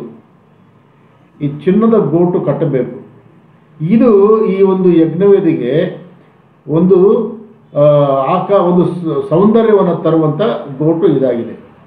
ಇದು ನಮ್ಮ ರಕ್ಷಕನಾದ ಯೇಸು ಕ್ರಿಸ್ತನ ಮಹಿಮೆಯ ಸ್ವರೂಪವನ್ನು ಸೂಚಿಸುವಂಥದ್ದು ನಮ್ಮ ರಕ್ಷಕನಾಗಿದ್ದು ಯೇಸು ಕ್ರಿಸ್ತನು ಸತ್ತು ಗುಣಪಟ್ಟು ಪುನರುತ್ಥಾನ ಎದ್ದು ಬಂದ ಮೇಲೆ. ಆತನು ಮಹಿಮೆಯ ಕ್ರಿಸ್ತನಾಗಿರುವಂಥದ್ದನ್ನು ಈ ಗೋಟು ಸೂಚಿಸ್ತದೆ ಇಂಥ ಒಂದು ಗೋಟು ಈ ದೇವದರ್ಶನ ಗುಡಾರದಲ್ಲಿರುವಂಥ ಏಳು ವಸ್ತುಗಳಲ್ಲಿ ಮೂರು ವಸ್ತುಗಳಲ್ಲಿ ಈ ಗೋಟನ್ನು ನೋಡುತ್ತೇವೆ. ಉದಾಹರಣೆಗೆ ಮೊದಲನೇದಾಗಿ ಈ ಗೋಟನ್ನು ನೋಡ್ತೇವೆ. ಇಲ್ಲಿ ಇದು ಮಂಜೂಷದ ಸುತ್ತಲೂ ನೋಡ್ತೇವೆ. ಈ ಗೋಟು ಯಾವುದನ್ನು ಸೂಚಿಸ್ತಪ್ಪ ಅಂತಂದರೆ ದೇವರ ಆಜ್ಞೆ, ಅದು ಅಷ್ಟು ಪರಿಶುದ್ಧವಾಗಿರುವಂಥದ್ದು. ಎಂಬುದಾಗಿ ಈ ಗೋಟು ತೋರಿಸುತ್ತದೆ. ಇದರ ಮೇಲೆ ಕೃಪಾಸನ ಇದೆ. ಈ ಕೃಪಾಸನ ಇಲ್ಲದಿದ್ದರೆ ದೇವರ ಒಂದು ಆಜ್ಞೆಯ ಮುಖಾಂತರವಾಗಿ ನಾವು ಆತನ ಬೆಳೆಸಲಿಕ್ಕೆ ಬರಲಿಕ್ಕೆ ಸಾಧ್ಯತೆ ಇಲ್ಲ. ದೇವರ ಪರಿಶುದ್ಧತೆಯನ್ನು ಸೂಚಿಸುವಂಥದ್ದು ಈ ಗೋಟಾಗಿದೆ. ಎರಡನೇದಾಗಿ ಇದೇ ಗೋಟು ಇನ್ನೊಂದು ಕಡೆ ಇಲ್ಲಿ ಕಾಣುತ್ತಪ್ಪ ಅಂತಂದರೆ, ಈ ತಾಮ್ರದ ಯಜ್ಞವೇದಿಯಲ್ಲಿ ಕೂಡ ಕಾಣುತ್ತೆ. ಇಲ್ಲೂ ಕೂಡ ಆ ಗೋಟು ಕಾಣುವಂಥದ್ದನ್ನು ನಾ ತಾಮ್ರದ ಯಜ್ಞವೇದಿಯಲ್ಲ ಇದು ಸನ್ನಿಧಿ ರೊಟ್ಟಿಗಳನ್ನು ಇಡುವಂಥ ಒಂದು ಮೇಜಿನ ಮೇಲೆ ಕಾಣುತ್ತದೆ, ಈ ಸುತ್ತಲೂ ನೋಡ್ತಾ ನೋಡಿ. ಇದು ಕೂಡ ಚಿನ್ನದ ಗೋಟು. ಇದು ಅನ್ಯೋನ್ಯತೆಯ ಸೌಂದರ್ಯತೆಯನ್ನು ತೋರಿಸುವಂಥದ್ದು. ಯಾಕೆಂದರೆ ಈ ಈ ರೊಟ್ಟಿಗಳು, ಹನ್ನೆರಡು ರೊಟ್ಟಿಗಳು, ಇವು ಹನ್ನೆರಡು ಇಸ್ರೇಲ್ ಕುಲಗಳನ್ನು ಸೂಚಿಸುವಂಥವುಗಳು. ಇವು ಕರ್ತನ ಅನ್ಯೋನ್ಯತೆಯಲ್ಲಿರುವಂಥ ಕುಲಗಳು. ದೇವರು ಅವರ ಅನ್ಯೋನ್ಯತೆಯನ್ನು, ಅವರ ಸಮೀಪತೆಯನ್ನು ಆತನು ಅಂಗೀಕರಿಸಿ ತನ್ನ ಬಳಿಯಲ್ಲಿ ಇಟ್ಟುಕೊಂಡು ಇರುವಂಥದ್ದನ್ನು ಸೂಚಿಸುತ್ತದೆ. ಈ ಗೋಟು ಕರ್ತನ ಅನ್ಯೋನ್ಯತೆಯ ಸೌಂದರ್ಯವನ್ನು ಸೂಚಿಸುವಂಥ ಗೋಟು ಇದಾಗಿದೆ. ಅದಾದಮೇಲೆ ನಾವು ನಾವು ಗಮನಿಸುವಂಥ ಮಾತು, ಇದು ಬಂಗಾರದ ಧೂಪವೇದಿ ಎಂಬುದಾಗಿ ನಾವು ಕರಿತೇವೆ. ಈ ಗೋಟು ಕರ್ತನ ಮಹಿಮೆಯನ್ನು, ಪುನರುತ್ಥಾನದ ಶಕ್ತಿಯನ್ನು ತೋರಿಸುವಂಥ ಗೋಟು ಎಂಬುದಾಗಿ ನಾವು ನೋಡ್ತೇವೆ. ಇದರ ಅಳತೆಗಳು ಯಾವ ರೀತಿಯಾಗಿದೆ ಅಂತಂದರೆ ಮೇಲ್ಗಡೆ ಚಚ್ಚೌಕವಾಗಿರುವಂಥದ್ದು ನೋಡುತ್ತೇವೆ. ಅಂದರೆ ಅಗಲ ಮತ್ತು ಉದ್ದ ಒಂದೂವರೆ ಮಳ ಮತ್ತು ಎತ್ತರ ಮೂರು ಮೊಳ. ಈ ಮೂರು ಮೊಳ ತ್ರಯಕತ್ವವನ್ನು ತೋರಿಸುವಂಥದ್ದು ಈ ಚೊಚ್ಚೌಕವಾಗಿರುವಂಥ ನಾಲ್ಕು ಮೂಲೆಗಳು ಕೂಡ ನಾಲ್ಕು ಸುವಾರ್ತೆಗಳನ್ನು ಅಥವಾ ನಾಲ್ಕು ದಿಕ್ಕುಗಳನ್ನು ಸೂಚಿಸುವಂಥದ್ದನ್ನು ನಾವು ಗಮನಿಸುತ್ತೇವೆ. ಇದಕ್ಕೆ ನಾಲ್ಕು ಕೊಂಬುಗಳು ಕೂಡ ಇರುವಂಥದ್ದನ್ನು ನೋಡುತ್ತಾ ಇದ್ದೇವೆ. ಇದು ರಕ್ತವನ್ನು ಮಹಾ ದೋಷ ಪರಿಹಾರಕ ದಿನದಂದು. ಇದರ ಮೇಲೆ ರಕ್ತವನ್ನು ಇಸ್ರೇಲ್ರ ಪರವಾಗಿ ಹಚ್ಚಿ, ಅದಾದಮೇಲೆ ಯಾಜಕ ಏನು ಮಾಡ್ತಾನೆ ತೆರೆಯ ಒಳಗೆ ಹೊರಟೋಗ್ತಾನೆ. ಅದನ್ನು ಕುರಿತಾಗಿ ನಾನು ಆಮೇಲೆ ವಿವರಿಸುತ್ತೇನೆ. ಇದು ಯಾವಾಗಲೂ ಕೂಡ ದೇವದರ್ಶನ ಕೂಡ ಒಂದು ಟೆಂಟಲ್ಲಿ ಇರೋದ್ರಿಂದ ಇದನ್ನು ತೆಕ್ಕೊಂಡು ಹೋಗ್ಲಿಕ್ಕೆ ಅನುಕೂಲವಾಗುವ ರೀತಿಯಲ್ಲಿ ಈ ಒಂದು ಚಿನ್ನದ ಬಳೆಗಳನ್ನು ಮಾಡಿ, ಆ ಬಳೆಗಳನ್ನು ಹೊರಲಿಕ್ಕೆ ಎರಡು ಕೋಲುಗಳನ್ನು ಸೇರಿಸುತ್ತಾರೆ. ಆ ಕೋಲುಗಳನ್ನು ಕೂಡ ಚಿನ್ನದ ತಗಡಿನಿಂದ ಮುಚ್ಚುತ್ತಾರೆ. ಅಂದರೆ ಯಾವುದೇ ಭಾಗವು ಕೂಡ ಈ ಜಾಲಿ ಮರ ಕಾಣಲ್ಲ. ಇದು ದೇ, ಕ್ರಿಸ್ತನ ದೈವತ್ವದಿಂದ ತುಂಬಿರುವಂಥದ್ದನ್ನು ನೋಡ್ತಾ ಇದ್ದೇವೆ. ಮತ್ತು ಇದಕ್ಕೆ ಬೇಕಾದ ಸಲಕರಣೆಗಳು, ಇಲ್ಲಿ ಇಲ್ಲಿ ಬೆಂಕಿಯನ್ನು ಹಾಕಿ, ಧೂಪವನ್ನು ಹಾಕಿ, ಅಲ್ಲಿರುವಂಥ ಬೂದಿನ ತೆಗೆದು, ಆ ಬೆಂಕಿಯನ್ನು ಉರಿಯುವ ರೀತಿಯಲ್ಲಿ ಮಾಡಲಿಕ್ಕೆ ಅನುಕೂಲಕರವಾಗಿರುವಂಥ ಕೆಲವು ಸಲಕರಣೆಗಳನ್ನು ಕೂಡ ನೋಡ್ತೇವೆ. ಅವು ಕೂಡ ಬಂಗಾರದ ಬಂಗಾರದವುಗಳಿಂದಲೇ ಮಾಡಲ್ಪಟ್ಟಿರುವಂಥದ್ದನ್ನು ನೋಡ್ತೇವೆ. ಇದು ದ, ಯಜ್ಞವೇದಿ. ಇಲ್ಲಿ ಯಜ್ಞವೇದಿ ಅಂತ ಬರುವಂಥ ಸಂದರ್ಭದಲ್ಲಿ ಎರಡು ಸಂಗತಿಗಳು ನೋಡ್ತೇವೆ. ಏಳು ಏಳು ಭಾಗಗಳಲ್ಲಿ ಒಂದು ತಾಮ್ರದ ಯಜ್ಞವೇದಿ, ಇನ್ನೊಂದು ಬಂಗಾರದ ಯಜ್ಞವೇದಿನೇ, ಬಟ್ ಇಲ್ಲಿ ಯಾವುದು ಬಲಿ ಕೊಡಲ್ಲ ಇದರಲ್ಲಿ. ಇದು ಧೂಪ ಹಾಕುವಂಥ ಯಜ್ಞವೇದಿ. ಇವೆರಡರ ಒಂದು ವ್ಯತ್ಯಾಸವನ್ನು ಸ್ವಲ್ಪ ನೀವು ನೋಡಿದ್ರೆ ಒಳ್ಳೆಯದು ಇಲ್ಲಿ ಕಾಣುತ್ತೆ ನೋಡ್ರಿ. ಇದು ದೊಡ್ಡದು ಐದು ಮೊಳ ಅಗಲ, ಐದು ಮಗಳ ಎತ್ತರ, ಮತ್ತೆ ಮೂರು ಮೊಳ ಎತ್, ಮೂರು ಮೊಳ ಎತ್ತರ, ಮೂರು, ಐದು ಮೊಳ ಅಗಲ, ಐದು ಮೊಳ ಉದ್ದ. ಇಲ್ಲಿ ಪಾಪ ಪರಿಹಾರಾರ್ಥಕವಾಗಿರುವಂಥ ಬಲಿಗಳನ್ನು, ಅಂದರೆ ಪಾಪ ಪರಿಹಾರ್ಥವಾಗಿ ಆಗಲಿ ಅಥವಾ ಧಾನ್ಯ ದ್ರವ್ಯಗಳ ಪಾ ಬಲಿಗಳಾಗಲಿ, ಎಲ್ಲವನ್ನು ಕೂಡ ದೋಷ ಪರಿಹಾರಕದ ಕುರಿತಾಗಿರುವಂಥದ್ದುಗಳಾಗಲಿ ಎಲ್ಲವನ್ನು ಕೂಡ ಇಲ್ಲಿ ಏನು ಮಾಡ್ತಾರೆ ಅಂದರೆ ಬಲಿಗಳನ್ನು ಸಮರ್ಪಿಸಿ ಸಂಪೂರ್ಣವಾಗಿ ಸುಟ್ಟಾಕ್ತಾರೆ ಅವನ್ನ. ರಕ್ತವನ್ನು ಈ ಕೊಂಬುಗಳಿಗೆ ಹಚ್ಚಿ ಮಿಕ್ಕಿರೋದು ರಕ್ತವನ್ನು ಕೆಳಗೆ ಅದರ ತಾಮ್ರದ ಯಜ್ಞವೇದಿ ಕೆಳಗೆ ಚೆಲ್ಲಿ, ಇಲ್ಲಿ ದೋಷ ಪರಿಹಾರಕ, ಅಥವಾ ಪಾಪ ಪರಿಹಾರಕವಾಗಿರುವಂಥ ಕಾರ್ಯಕ್ರಮ ಇಲ್ಲಿ ನಡೆಯುತ್ತೆ. ಈ ರೀತಿಯಾಗಿ ಪಾಪ ಪರಿಹಾರ ಪಾಪ ಪರಿಹಾರ ಹೊಂದಿರುವಂಥ ವ್ಯಕ್ತಿ ಅವನ ಪರವಾಗಿ ಯಾಜಕರು ಏನು ಮಾಡ್ತಾನೆ? ದೇವದರ್ಶನದ ಗುಡಾರದ ಒಳಗೆ ಹೋಗಿ ಈ ಒಂದು ಬಂಗಾರದ ಯಜ್ಞವೇದಿಯ ಬಳಿಯಲ್ಲಿ ಧೂಪವನ್ನು ಹಾಕ್ತಾನೆ. ಇದನ್ನು ನಾವು ಗಮನಿಸಬೇಕು. ಇಲ್ಲಿ ಎರಡರ ವ್ಯತ್ಯಾಸವನ್ನು ಗಮನಿಸುವಾಗ ನಾವು ಕಂಡುಹಿಡಿಯುವಂಥದ್ದು ಏನಪ್ಪ ಅಂತಂದರೆ, ಒಂದು ಹೊರಗೆ ಇರುತ್ತೆ, ಒಂದು ಒಳಗೆ ಇರುತ್ತೆ. ಒಂದು ತಾಮ್ರದಿಂದ ಮಾಡಲ್ಪಟ್ಟಿದೆ, ಅದು ದೇವರ ನ್ಯಾಯ ತೀರ್ವಿಕೆಗೆ ಅದು ಗುರುತಾಗಿದೆ. ಇನ್ನೊಂದು ಬಂಗಾರದಿಂದ ಮಾಡಲ್ಪಟ್ಟಿದೆ. ಇದು ದೇವರ ದೈವತ್ವವನ್ನು ಅಥವಾ ದೇವರ ಮಹಿಮೆಗೆ ಅದು ಸೂಚನೆ ಆಗಿರುವಂಥದ್ದನ್ನು ನೋಡುತ್ತೇವೆ. ಈ ಒಂದು ಹೊರಗಡೆ ಇರುವಂಥ ತಾಮ್ರ ಯಜ್ಞವೇದಿಯಲ್ಲಿ ಪಾಪ ಪರಿಹಾರಾರ್ಥಕವಾಗಿರುವಂಥ ಬಲಿಗಳನ್ನು ಇಲ್ಲಿ ಸಮರ್ಪಿಸುತ್ತಾರೆ. ಈ ಪಾಪ ಪರಿಹಾರವಾಗಿರುವಂಥ ಬಲಿಗಳನ್ನು ಸಮರ್ಪಿಸಿದ ಮೇಲೆ ಮಾತ್ರವೇ ಒಬ್ಬ ವ್ಯಕ್ತಿ ಒಳಕ್ಕೆ ಹೋಗಿ ಈ ಯಜ್ಞವೇದಿಯ, ಈ ಬಂಗಾರದ ಧೂಪವೇದಿಯಲ್ಲಿ ಆತನು ಧೂಪವನ್ನು ಹಾಕ್ಬೋದು ಧೂಪ ಎಂಬುದಾಗಿ ಹೇಳುವಾಗ ನಾವು ಗಮನಿಸುವಂಥದ್ದು ಏನಪ್ಪ ಅಂತಂದರೆ ಅದು ಹೊಗೆ ರೀತಿಯಲ್ಲಿ ಬರುತ್ತೆ. ಅಂದರೆ ಪರಿಮಳ ದ್ರವ್ಯಗಳನ್ನು ಆ ಬೆಂಕಿಯಲ್ಲಿ ಹಾಕಿ ಹೊಗೆ ರೀತಿಯಲ್ಲಿ ಅದು ಬರುವಂಥದ್ದು ಅದು ಭಕ್ತರ ಪ್ರಾರ್ಥನೆಗೆ ಅಥವಾ ಭಕ್ತರು ಮಾಡುವಂಥ ಆರಾಧನೆಯನ್ನು ದೇವರು ಅಗ್ರಾಣಿಸುವುದಕ್ಕೆ ಅದು ಸೂಚನೆ ಆಗಿದೆ ಅನ್ನುವಂಥದ್ದನ್ನು ನಾವು ಇಲ್ಲಿ ಪ್ರಾಮುಖ್ಯವಾಗಿ ಪ್ರಾರಂಭದಲ್ಲಿ ನಾವು ಕಲಿಬೇಕು. ನಾನು ಭಾಳ ನಿಧಾನಕ್ಕೆ ಹೇಳ್ತೇನೆ ಯಾಕಂದರೆ ಕನ್ಫ್ಯೂಸ್ ಆಗಲಿಕ್ಕೆ ಚಾನ್ಸಸ್ ಇರುತ್ತೆ. ಈಗ ಇದರಲ್ಲಿ ಒಂದು ಕೆಲವು ಮುಖ್ಯ ಉದ್ದೇಶಗಳನ್ನು ಸುಮಾರು ಒಂದು ಏಳು ಮುಖ್ಯ, ಎಂಟು ಮುಖ್ಯ ಉದ್ದೇಶಗಳಿವೆ. ಅವುಗಳನ್ನು ಒಂದೊಂದಾಗಿ ಹೇಳ್ಕೊತಾನೆ. ಒಂದನೇದೇನಪ್ಪ ಅಂತಂದರೆ, ಈ ಧೂಪವೇದಿ ಇರೋದು ಯಾಕಪ್ಪ ಅಂತಂದರೆ ಇಲ್ಲಿ ಪರಿಮಳ ದ್ರವ್ಯಗಳನ್ನು ಹಾಕ್ಬಿಟ್ಟು ಆ ಬೆಂಕಿಯಲ್ಲಿ, ಇಲ್ಲಿ ಬೆಂಕಿ ಹಾಕ್ತಾರೆ. ಆ ಬೆಂಕಿಯಲ್ಲಿ ಪರಿಮಳ ದ್ರವ್ಯಗಳನ್ನು ಹಾಕುವಾಗ ಅದು ಸುವಾಸನೆಯನ್ನು ಬೀರುವಂತಹ ಒಂದು ಧೂಪವು ಮೇಲಕ್ಕೆ ಏರುವಂಥದ್ದನ್ನು ನೋಡ್ತೇವೆ. ಈ ಪರಿಮಳ ದ್ರವ್ಯ ಯಾವ ರೀತಿಯಾಗಿ ಅವರು ಮಾಡುತ್ತಿದ್ದರು ಎನ್ನುವಂಥದ್ದನ್ನು ವಿಮೋಚನಕಾಂಡ ಮೂವತ್ತನೇ ಅಧ್ಯಾಯ ಮೂವತ್ನಾಲ್ಕು ಮತ್ತು ಮೂವತ್ತೈದನೇ ವಚನದಲ್ಲಿ ನೋಡ್ತೇವೆ. ದಯಮಾಡಿ ಒಬ್ಬರು ಹೋದ್ರಿ ಮೂವತ್ನಾಲ್ಕು, ಮೂವತ್ತೈದನೇ ವಚನ. ವಿಮೋಚನ ಕಾಂಡ ಮೂವತ್ತನೇ ಅಧ್ಯಾಯ ಮೂವತ್ನಾಲ್ಕು ಮೂವತ್ತೈದು. ಅದಲ್ಲದೆ ಯಹೋವನು ಮೋಶೆಗೆ ಆಜ್ಞಾಪಿಸಿದ್ದೇನೆಂದ್ರೆ ಮೂವತ್ನಾಲ್ಕು ಮೂವತ್ತೈದು ಅಲ್ವಾ? ನೀನು ಹಾಲು ಮಟ್ಟಿ ಗುಗ್ಗುಲ ಗಂಧದ ಚಕ್ಕೆ ಎಂಬ ಪರಿಮಳ ದ್ರವ್ಯಗಳನ್ನು ಸ್ವಚ್ಛವಾದ ಧೂಪವನ್ನು ಸಮಭಾಗವಾಗಿ ತೆಗೆದುಕೊಂಡು ಸುವಾಸನೆಯುಳ್ಳ ಬುಕ್ಕಿಟ್ಟಕ್ಕ ಬುಕ್ಕಿಟ್ಟಕ್ಕಾಗಿರುವಂತೆ ಸುಗಂಧ ದ್ರವ್ಯಕಾರ ವಿದ್ಯೆಯ ಮೇರೆಗೆ ಕಲಿಸಿ ಉಪ್ಪು ಹಾಕಿ ದೇವರ ಸೇವೆಗೆ ಸ್ವಚ್ಛವಾದ ಧೂಪ ದ್ರವ್ಯವನ್ನು ಮಾಡಿಸಬೇಕು ಅದರಲ್ಲಿ ಸ್ವಲ್ಪವನ್ನು ಪುಡಿ ಮಾಡಿಸಿ ದೇವದರ್ಶನದ ಗುಡಾರದೊಳಗೆ ಆಜ್ಞಾ ಶಾಸನಗಳ ಮಂಜೂಷದ ಎದುರಾಗಿ ನಾನು ನಿನಗೆ ದರ್ಶನ ಕೊಡುವ ಸ್ಥಳದಲ್ಲಿ ಇರಿಸಬೇಕು. ಅದು ಅತಿ ಪರಿಶುದ್ಧವಾದದ್ದೆಂದು ನೀವು ತಿಳ್ಕೊಳ್ಳಬೇಕು. ನೀವು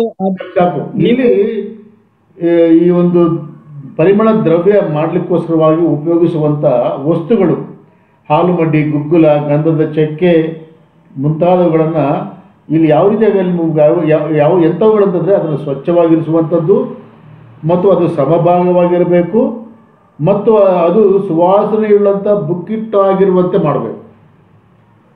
ಇದು ಶುದ್ಧತೆ ಮತ್ತು ಪರಿಶುದ್ಧತೆ ಮತ್ತು ಸಮಾನತೆ ಎನ್ನುವಂಥದ್ದನ್ನು ಈ ಒಂದು ದ್ರವ್ಯಗಳನ್ನು ಮಾಡುವಂಥದ್ರಲ್ಲಿ ದೇವರು ಹೇಳುವಂಥದ್ದನ್ನು ನೋಡ್ತಾ ಇದ್ದೇವೆ ಈ ಒಂದು ರೀತಿಯಾಗಿ ಮಾಡಿರುವಂಥ ಪರಿಮಳ ದ್ರವ್ಯವನ್ನು ಈ ಬಂಗಾರದ ಧೂಪ ವೇದಿಯಲ್ಲಿ ಮೇಲಿರುವಂಥ ಕೆಂಡಗಳ ಮೇಲೆ ಅದು ಹಾಕುವಾಗ ಅದು ಧೂಪವಾಗಿ ಮೇಲಕ್ಕೆ ಏರುವಂಥದ್ದು ನೋಡ್ತೇವೆ ಅದು ಇಸ್ರಾಯೇಲ್ ಪರವಾಗಿ ಒಬ್ಬ ಯಾಜಕನು ದೇವರಿಗೆ ಸಲ್ಲಿಸತಕ್ಕಂಥ ಪ್ರಾರ್ಥನೆ.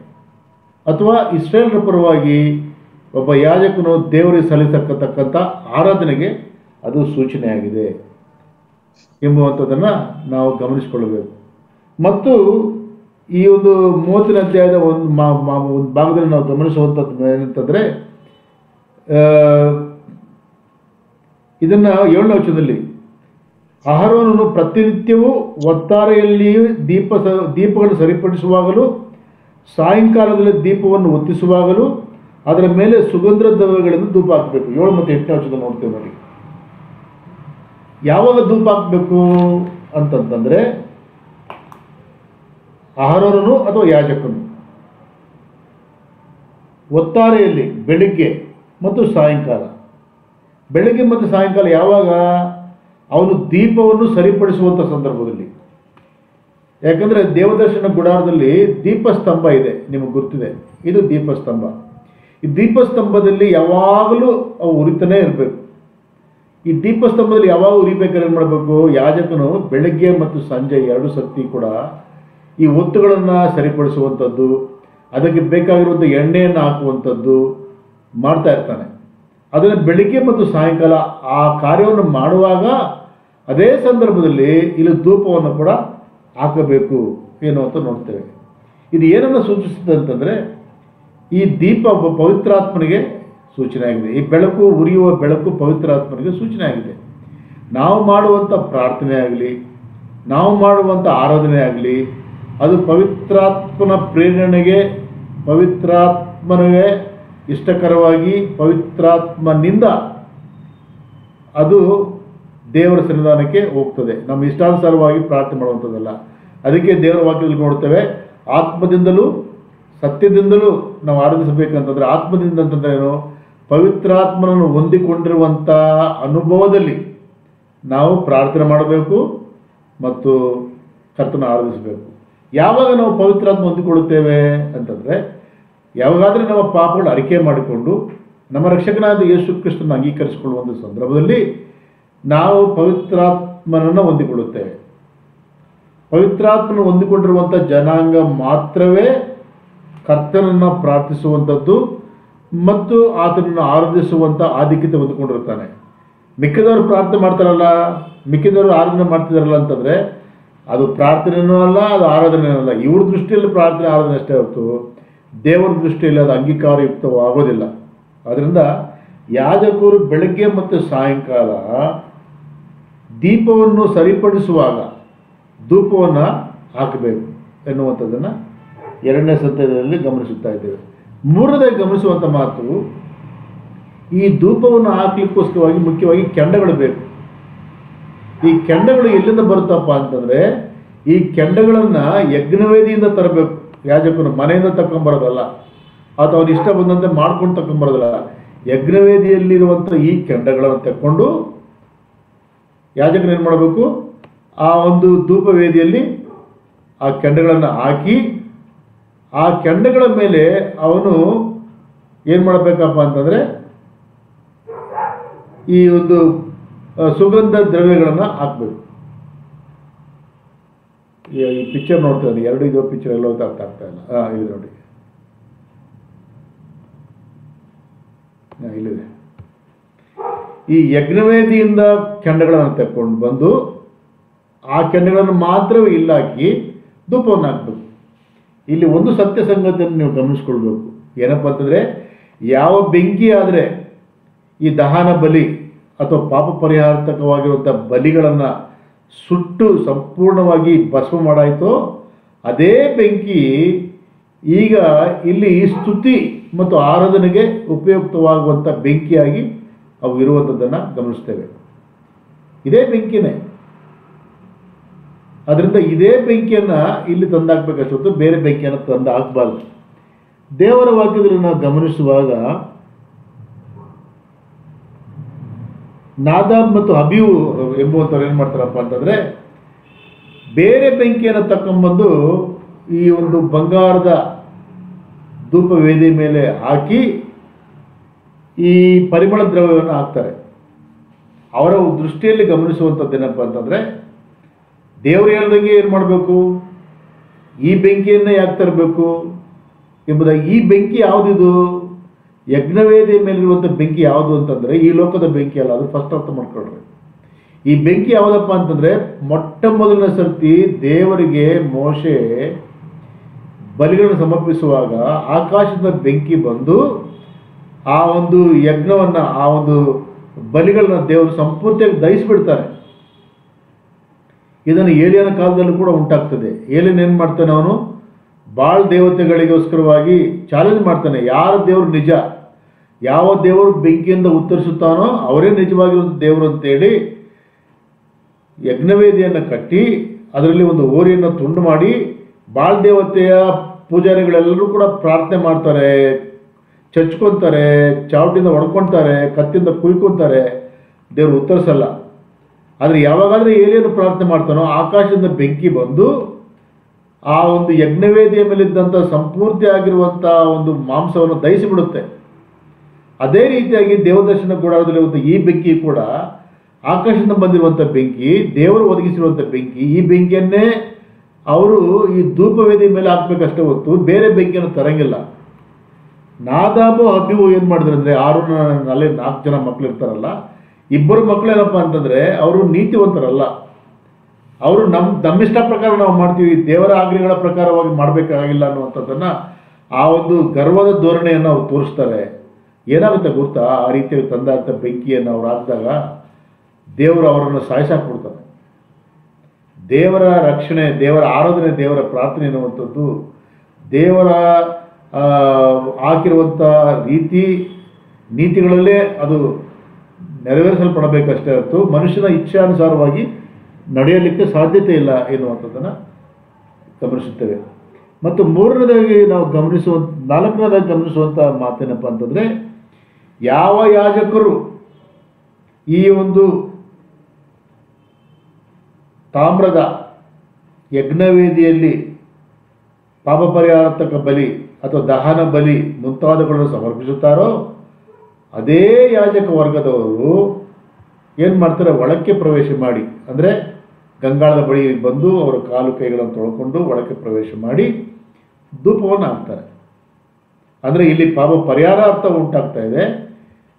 ಈ ಬಂಗಾರದ ಧೂಪ ಯಜ್ಞವೇದಿಗೆ ಬರುವಂಥ ಧೂಪವೇದಿಗೆ ಬರುವಂಥ ಸಂದರ್ಭದಲ್ಲಿ ಪ್ರಾರ್ಥನೆ ಮತ್ತು ಆರಾಧನೆ ಉಂಟಾಗ್ತಾ ಇದೆ. ಇವೆರಡಕ್ಕೂ ಕೂಡ ಅದೇ ಯಾಜಕರೇ. ಇದು ಏನು ತೋರಿಸುತ್ತಪ್ಪ ಅಂತಂದರೆ, ಇದು ಕೂಡ ನಮ್ಮ ರಕ್ಷಕನಾದ ಯೇಸು ಕ್ರಿಸ್ತರನ್ನೇ ಸೂಚಿಸುವಂಥದ್ದು. ನಮ್ಮ ರಕ್ಷಕನಾದ ಯೇಸು ಕ್ರಿಸ್ತನ ಒಂದು ಮೂರು ಥರವಾಗಿರುವಂಥ ಆಫೀಸ್ಗಳನ್ನು ಅಥವಾ ಬಾಧ್ಯತೆಗಳನ್ನು ನೋಡುತ್ತೇವೆ. ರಕ್ಷಕನಾಗಿರುವಂಥ ಯೇಸು ಕ್ರಿಸ್ತನು ಪ್ರವಾದಿಯ ಕೆಲಸ ಮಾಡ್ತಾನೆ. ಪ್ರವಾದಿ ಕೆಲಸ ಅಂದ್ರೆ ಅರ್ಥ ಏನಪ್ಪ ಅಂತಂದರೆ, ದೇವರ ಪರವಾಗಿ ಮನುಷ್ಯರನ್ನು ಎಚ್ಚರಿಸುವಂಥದ್ದು ಪ್ರವಾದಿಯ ಕೆಲಸ. ಅದನ್ನು ಕೂಡ ಮಾಡ್ತಾನೆ. ಎರಡನೇದಾಗಿ ರಕ್ಷಕರಾದ ಯೇಸು ಕ್ರಿಸ್ತನು ಯಾಜಕತ್ವವನ್ನು ಮಾಡ್ತಾನೆ. ಯಾಜಕರಪ್ಪ ಅಂತಂದರೆ ಮನುಷ್ಯರ ಪರವಾಗಿ ದೇವರ ಸನ್ನಿಧಾನದಲ್ಲಿ ನಿಲ್ಲುವಂಥ ಕಾರ್ಯ. ಅದನ್ನು ಕೂಡ ನಮ್ಮ ರಕ್ಷಕರಾದ ಯೇಸು ಕ್ರಿಸ್ತನು ಮಾಡ್ತಾನೆ. ಮೂರನೇ ಒಂದು ಕಾರ್ಯವೇನಪ್ಪ ಅಂದರೆ ಯೇಸು ಕ್ರಿಸ್ತನು ಆತನು ರಾಜನ ಕೆಲಸವನ್ನು ಮಾಡ್ತಾನೆ. ರಾಜಾದಿರಾಜನಾಗಿ ಆತನು ಈ ಬರಲಿಕ್ಕಿದ್ದಾನೆ. ಮತ್ತು ಸಾವಿರ ವರ್ಷ ಆಳ್ವಿಕೆಯಲ್ಲಿ ಕ್ರಿಸ್ತನ ಸಾಮ್ರಾಜ್ಯವನ್ನು ಸ್ಥಾಪಿಸಿ ಆತನು ರಾಜಾಜರಾಜನಾಗಿ ಆಳ್ಲಿಕ್ಕಿದ್ದಾನೆ. ಇವು ಮೂರು ನಮ್ಮ ರಕ್ಷಕ ಯೇಸು ಕ್ರಿಸ್ತನ ಕರ್ತವ್ಯಗಳು ನೋಡ್ತೇವೆ ಒಂದು, ಪ್ರವಾದಿಯ ಕರ್ತವ್ಯವನ್ನು ಮಾಡ್ತಾನೆ. ಎರಡನೇದು, ಯಾಜಕನ ಕರ್ತವ್ಯವನ್ನು ಮಾಡ್ತಾನೆ. ಮೂರನೇಗೆ ರಾಜನ ಕರ್ತವ್ಯವನ್ನು ಕೂಡ ಯೇಸು ಕ್ರಿಸ್ತನು ಮಾಡ್ತಾನೆ. ಅದು ಈ ಮುಂದೆ ಬರ್ತದೆ ಅದು. ಈ ಒಂದು ಪ್ರಸಂಗದಲ್ಲಿ ಯೇಸು ಕ್ರಿಸ್ತನ ಯಾಜಕತ್ವವನ್ನು ನಾವು ಗಮನಿಸ್ತೇವೆ. ಯಾವ ರೀತಿ ಗಮನಿಸ್ತೇವಪ್ಪ ಅಂತಂದರೆ, ಯೇಸು ಕ್ರಿಸ್ತನು ಇಲ್ಲಿ ನಮ್ಮ ಪಾಪ ನಿವಾರಣೆಗೋಸ್ಕರವಾಗಿ ತಾನೇ ಆತನು ಬಲಿಯಾಗುವಂಥದ್ದನ್ನು ನಾವು ನೋಡ್ತೇವೆ. ಅದನ್ನು ಮೊದಲನೇ ಕೊರತ ಬರೆದ ಪತ್ರಿಕೆ. ಐದನೇ ಅಧ್ಯಾಯ ಇಪ್ಪತ್ತೊಂದನೇ ವಚನ ನೋಡ್ತೇವೆ ಪಾಪ ಜ್ಞಾನವಿಲ್ಲದೆ ಇರುವಂಥ ಆತನು ನಮ್ಮನ್ನು ನೀತಿವಂತರನ್ನಾಗಿ ಮಾಡಲಿಕ್ಕೋಸ್ಕರವಾಗಿ ಆತನು ಪಾಪವಾದನು. ಮತ್ತು ಮೊದಲನೇ ಪೇತ್ರನ ಮೊದಲನೇ ಪೇತ್ರನ ಬರೆದ ಪತ್ರಿಕೆ ಎರಡನೇದು ಇಪ್ಪತ್ನಾಲ್ಕನೇ ವಚನ ಮತ್ತು ಮೊದಲನೇ ಪೇತ್ರನ ಬರೆದ ಪತ್ರಿಕೆ ಮೂರನೇದು ಹದಿನೆಂಟು ವಚನಕ್ಕೆ ಬರುವ ಸಂದರ್ಭದಲ್ಲಿ ಆತನ ನಮ್ಮೆಲ್ಲರ ಪಾಪವನ್ನು ತನ್ನ ಮೇಲೆ ಒತ್ತುಕೊಂಡಂತವನಾಗಿ ಆತನು ಶಿಲುಬೆಯ ಕಂಬವನ್ನು ಏರಿದನು. ನಮಗೋಸ್ಕರವಾಗಿ ರಕ್ತವನ್ನು ಸುರಿಸಿದನು. ನಮಗೋಸ್ಕರವಾಗಿ ಆತನು ಪ್ರಾಯಶ್ಚಿತ್ತ ಯಜ್ಞವಾಗಿ ಸಮರ್ಪಿಸಲ್ಪಟ್ಟನು ಎನ್ನುವಂತ ನೋಡ್ತೇವೆ. ಇಲ್ಲಿ ಯೇಸುಕ್ರಿಸ್ತನ ಯಾಜಕತ್ವದಲ್ಲಿ ಯಾಜಕನು ಓರಿ ಮತ್ತು ಕುರಿಗಳನ್ನು ತಕೊಂಡು ಹೋಗ್ತಾ ಇಲ್ಲ. ಯಾಜಕನು ತನ್ನನ್ನು ತಾನೇ ಬಲಿಯಾಗಿ ಸಮರ್ಪಿಸಿಕೊಳ್ಳುವಂಥದ್ದನ್ನು ನಾವು ನೋಡ್ತಾ ಇದ್ದೇವೆ. ಆ ರೀತಿಯಾಗಿ ಬಲಿಯಾಗಿ ಸಮರ್ಪಿಸಲ್ಪಟ್ಟಂಥ ಯೇಸು ಕ್ರಿಸ್ತನು ಮೂರು ದಿನಗಳಾದ ಮೇಲೆ ಆತನು ಪುನರುತ್ಥಾನವಾಗಿ ಎದ್ದು ಬರುತ್ತಾನೆ. ಪುನರುತ್ಥಾನವಾಗಿ ಎದ್ದು ಬಂದ ಮೇಲೆ ಇಬ್ರಿಯ ಬರೆದ ಪತ್ರಿಕೆ ಒಂದನೇ ಅಧ್ಯಾಯ ಮೂರನೇ ವಚನ ನೋಡ್ತೇವೆ. ಏನು ನೋಡ್ತೇವೆ? ದಯಮಾಡಿ ಹೋದ್ರಿ ಇಬ್ರಿಯ ಬರೆದ ಪತ್ರಿಕೆ ಒಂದನೇ ಅಧ್ಯಾಯ ಮೂರನೇ ವಚನದಲ್ಲಿ.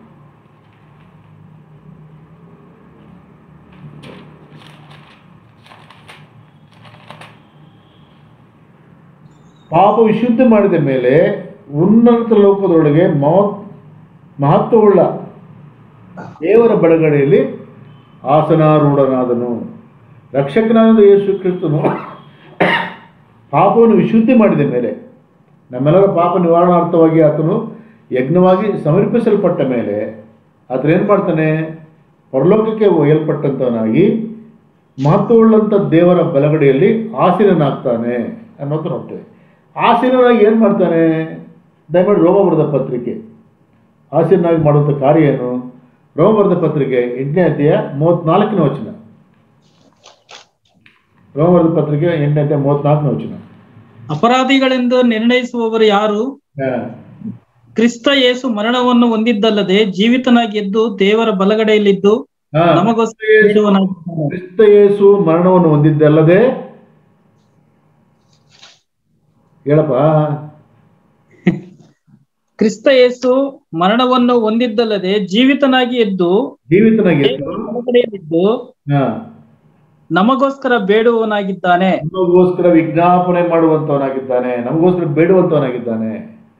ನಮ್ಮ ಕೊರತೆಗಳಲ್ಲಿ ನಮ್ಮ ಒಂದು ತಪ್ಪುವಿಕೆಯಲ್ಲಿ ನಮ್ಮ ಒಂದು ಪಾಪದಲ್ಲಿ ನಾವು ಕ್ಷಮಾಪಣೆ ಕೇಳುವಾಗ ದೇವರೇನು ಮಾಡ್ತಾನೆ ಅಂತಂದ್ರೆ ದೇವರೇ ಇಂಥ ವ್ಯಕ್ತಿಗೋಸ್ಕರವಾಗಿ ನಾನು ರಕ್ತವನ್ನು ಸುರಿಸಿದ್ದೇನೆ ಇವನನ್ನು ಕ್ಷಮಿಸು ಎಂಬುದಾಗಿ ನಮ್ಮ ಅನುದಿನ ರಕ್ಷಣೆಯನ್ನು ಕೊಡುವಂತ ಒಂದು ಬೇಡುವಿಕೆ ವಿಜ್ಞಾಪನೆಯನ್ನು ದೇವರೇನು ಮಾಡ್ತಾ ಇದ್ದಾನೆ? ಆತನು ಮಾಡ್ತಾನೆ ಅನ್ನುವಂಥದ್ದು ಗಮನಿಸಬೇಕು. ಈ ಬೇಡುವಿಕೆ ಎನ್ನುವಂಥದ್ದು ಎಲ್ಲಪ್ಪ ಉಂಟಾಗ್ತದೆ ಅಂದರೆ ಈ ಒಂದು ಬಂಗಾರದ ಧೂಪವೇದಿಯ ಬಳಿಯಲ್ಲಿ, ಪ್ರಾರ್ಥನೆ, ಆರಾಧನೆ ಎನ್ನುವಂಥದ್ದು ಇಲ್ಲಿ. ಅಂದ್ರೆ ಏನು? ರಕ್ಷಕನಾಗಿ ಒಂದು ಯೇಸು ಕ್ರಿಸ್ತನು ಆತನೇ ಯಜ್ಞವಾಗಿ ಸಮರ್ಪಿಸಲ್ಪಡುತ್ತಾನೆ. ಅದಾದ ಮೇಲೆ ಪುನರುತ್ಥಾನವಾದ ಮೇಲೆ ಆ ರಕ್ಷಕನಾದ ಯೇಸು ಕ್ರಿಸ್ತನು ಇನ್ನೊಂದು ಯಾಜಕತ್ವವನ್ನು ಮಾಡ್ತಾ ಇದ್ದಾನೆ, ಇನ್ನೊಂದು ಯಾಜಕತ್ವ ಮಾಡ್ತಾ ಇದ್ದಾನೆ. ನಮ್ಮೆಲ್ಲರ ಪರವಾಗಿ ಅದನ್ನು ತಂದೆ ಬಲಭಾಗದಲ್ಲಿ ಕೂತ್ಕೊಂಡು ಪ್ರಾರ್ಥಿಸುವಂಥವನಾಗಿದ್ದಾನೆ ಅದು ನಮ್ಮ ಆರಾಧನೆಗಳನ್ನು ದೇವರಿಗೆ ಅದನ್ನು ಸಲ್ಲಿಸುವಂತವನಾಗಿದ್ದಾನೆ. ಇಲ್ಲಿ ಯಾಜಕತ್ವದಲ್ಲಿ ಎರಡು ರೀತಿಯಾದಂಥ ಕಾರ್ಯಕ್ರಮವನ್ನು ಯೇಸು ಕ್ರಿಸ್ತನು ಮಾಡ್ತಾ ಇದ್ದಾನೆ. ಇಲ್ಲಿ ಬಲಿಯಾಗಿ ಸಮರ್ಪಿಸಲ್ಪಟ್ಟಿದ್ದಾನೆ, ಅಂದರೆ ಪ್ರಾಯಶ್ಚಿತ್ತ ಯಜ್ಞದ ಬಲಿಯಾಗಿ ಸಮರ್ಪಿಸಲ್ಪಟ್ಟಿದ್ದಾನೆ. ಪುನರುತ್ಥಾನವಾಗಿ ಎದ್ದು ಬಂದ ಮೇಲೆ ತಂದೆ ಬಲಭಾಗದಲ್ಲಿ ಕೂತುಕೊಂಡು ನಮಗೋಸ್ಕರ ವಿಜ್ಞಾಪನೆ ಮಾಡುವಂಥ ಯಾಜಕತ್ವವನ್ನು ಆತನು ಮಾಡುವಂಥದ್ದನ್ನು ನಾವು ನೋಡ್ತಾ ಇದ್ದೇವೆ ಅದರಿಂದ ಇಲ್ಲಿ ನಾವು ಗಮನಿಸಿದಂಥ ವಿಷಯವೇನಂತಂದರೆ, ಯಾವ ಯಾಜಕನು ಯಜ್ಞದಗಳ ಬಲಿಗಳನ್ನು ಸಮರ್ಪಿಸ್ತಾನೋ ಅದೇ ಯಾಜಕನು ಧೂಪವೇದಿಯ ಮೇಲೆ ಧೂಪ ಹಾಕುವಂಥದ್ದು ಅರ್ಥವೇನಪ್ಪ ಅಂತಂದರೆ, ಯಾವ ಯೇಸು ಕ್ರಿಸ್ತನು ತನ್ನನ್ನು ತಾನು ಯಜ್ಞದ ಪಶುವಾಗಿ ಸಮರ್ಪಿಸಿಕೊಂಡು ಬಲಿಯಾಗ್ತಾನೋ ಅದೇ ಯೇಸು ಕ್ರಿಸ್ತನು ತಿರುಗಿ ಪುನರುತ್ಥಾನ ಎದ್ದು ಬಂದ ಮೇಲೆ ನಮಗೋಸ್ಕರವಾಗಿ ಪ್ರಾರ್ಥಿಸುವಂಥವನು, ವಿಜ್ಞಾಪನೆ ಮಾಡುವಂಥವನು, ನಮ್ಮ ಆರಾಧನೆಗಳನ್ನು ತಂದೆಗೆ ಸಮರ್ಪಿಸುವಂಥ ಒಂದು ಕಾರ್ಯವನ್ನು ಇಲ್ಲಿ ಮಾಡುವಂಥದ್ದನ್ನು ನಾವು ನೋಡ್ತೇವೆ ಇದು ನಾಲ್ಕನೇದು. ಐದನೇದಾಗಿ ಗಮನಿಸುವಂಥ ಮಾತು, ಈ ಧೂಪವನ್ನು ಯಾಜಕರು ಹೊರತುಪಡಿಸಿ ಬೇರೆ ಯಾರು ಕೂಡ ಇದನ್ನು ಮಾಡೋಂಗಿಲ್ಲ. ನೋಡ್ರಿ ಎಂಟು ವಚನದಲ್ಲಿ ಈಗ ನಿಮ್ಮಿಂದಲೂ, ನಿಮ್ಮ ಸಂತತಿಯವರಿಂದಲೂ ಯಹೋವನ ಸನ್ನಿಧಿಯಲ್ಲಿ ನಿತ್ಯವಾದ ಧೂಪ ಸಮರ್ಪಣೆ ಇರಬೇಕು. ನಿನ್ನಿಂದಲೂ ನಿನ್ನ ಸಂತತಿಯವರು ಅಂದ್ರೇನು ಆಹಾರವನನು ಮತ್ತು ಅವನ ಸಂತತಿಯವರು ಮಾತ್ರವೇ ಈ ಒಂದು ದೇವದರ್ಶನ ಗುಡಾರದಲ್ಲಿ ನಡೆಯುವಂಥ ಈ ಕಾರ್ಯಕ್ರಮಗಳನ್ನು ಅವರು ಮಾಡಬೇಕಷ್ಟೇ ಹೊತ್ತು ಬೇರೆ ಯಾರೂ ಕೂಡ ಮಾಡೋಂಗಿಲ್ಲ. ಮಾಡಿದ್ರೆ ಏನಾಗುತ್ತೆ ಅಂತಂದರೆ, ಅದನ್ನು ನಾವು ಎಲ್ಲಿ ನೋಡ್ತೇವೆ ಅಂತಂದರೆ ಈ ಉಜ್ಜೀನ ಮಾಡುವಂಥ ಒಂದು ಕಾರ್ಯವನ್ನು ಗಮನಿಸಿದಾಗ ನಮಗೆ ಅರ್ಥ ಆಗ್ತದೆ. ಉಜ್ಜಯನ್ ಏನು ಮಾಡ್ತಾನೆ? ದಯಮಾಡಿ ಎರಡನೇ ದಿ- ದಿನವೃತ್ತಾಂತಗಳ ಗ್ರಂಥ ಇಪ್ಪತ್ತಾರನೇ ಅಧ್ಯಾಯ ಹನ್ನೆರಡರಿಂದ ಹದಿಮೂರು ವಚನ ಹೋದ್ರಿ ಎರಡನೇ ದಿನವೃತ್ತಾಂತಗಳ ಗ್ರಂಥ. ಅದು ಏನು ದಿನವೃತ್ತಾಂತ ಕನ್ನಡದಲ್ಲಿ ಏನಿದೆ? ಪೂರ್ವಕಾಲ ವೃತ್ತಾಂತ. ಪೂರ್ವ ವೃತ್ತಾಂತ ಕಾಲ. ಅಯ್ಯ. ಇಪ್ಪತ್ತಾರನೇ ಅಧ್ಯಾಯ ಹನ್ನೆರಡು ಹದಿಮೂರು ಹೋದ್ರಿ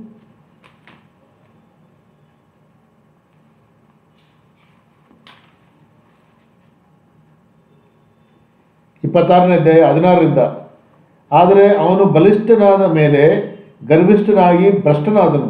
ತನ್ನ ದೇವರಾದ ಯೋಹವರಿಗೆ ದ್ರೋಹಿಯಾಗಿ ಧೂಪವೇದಿಯ ಮೇಲೆ ತಾನೇ ಧೂಪ ಹಾಕಬೇಕೆಂದು ಯಹೋವನ ಆಲಯದೊಳಗೆ ಹೋದನು. ಯಾರು ಉಜ್ಜಯನಾದ ಅರಸನು ಮಾಡುವಂಥ ಕಾರ್ಯ ಇದು.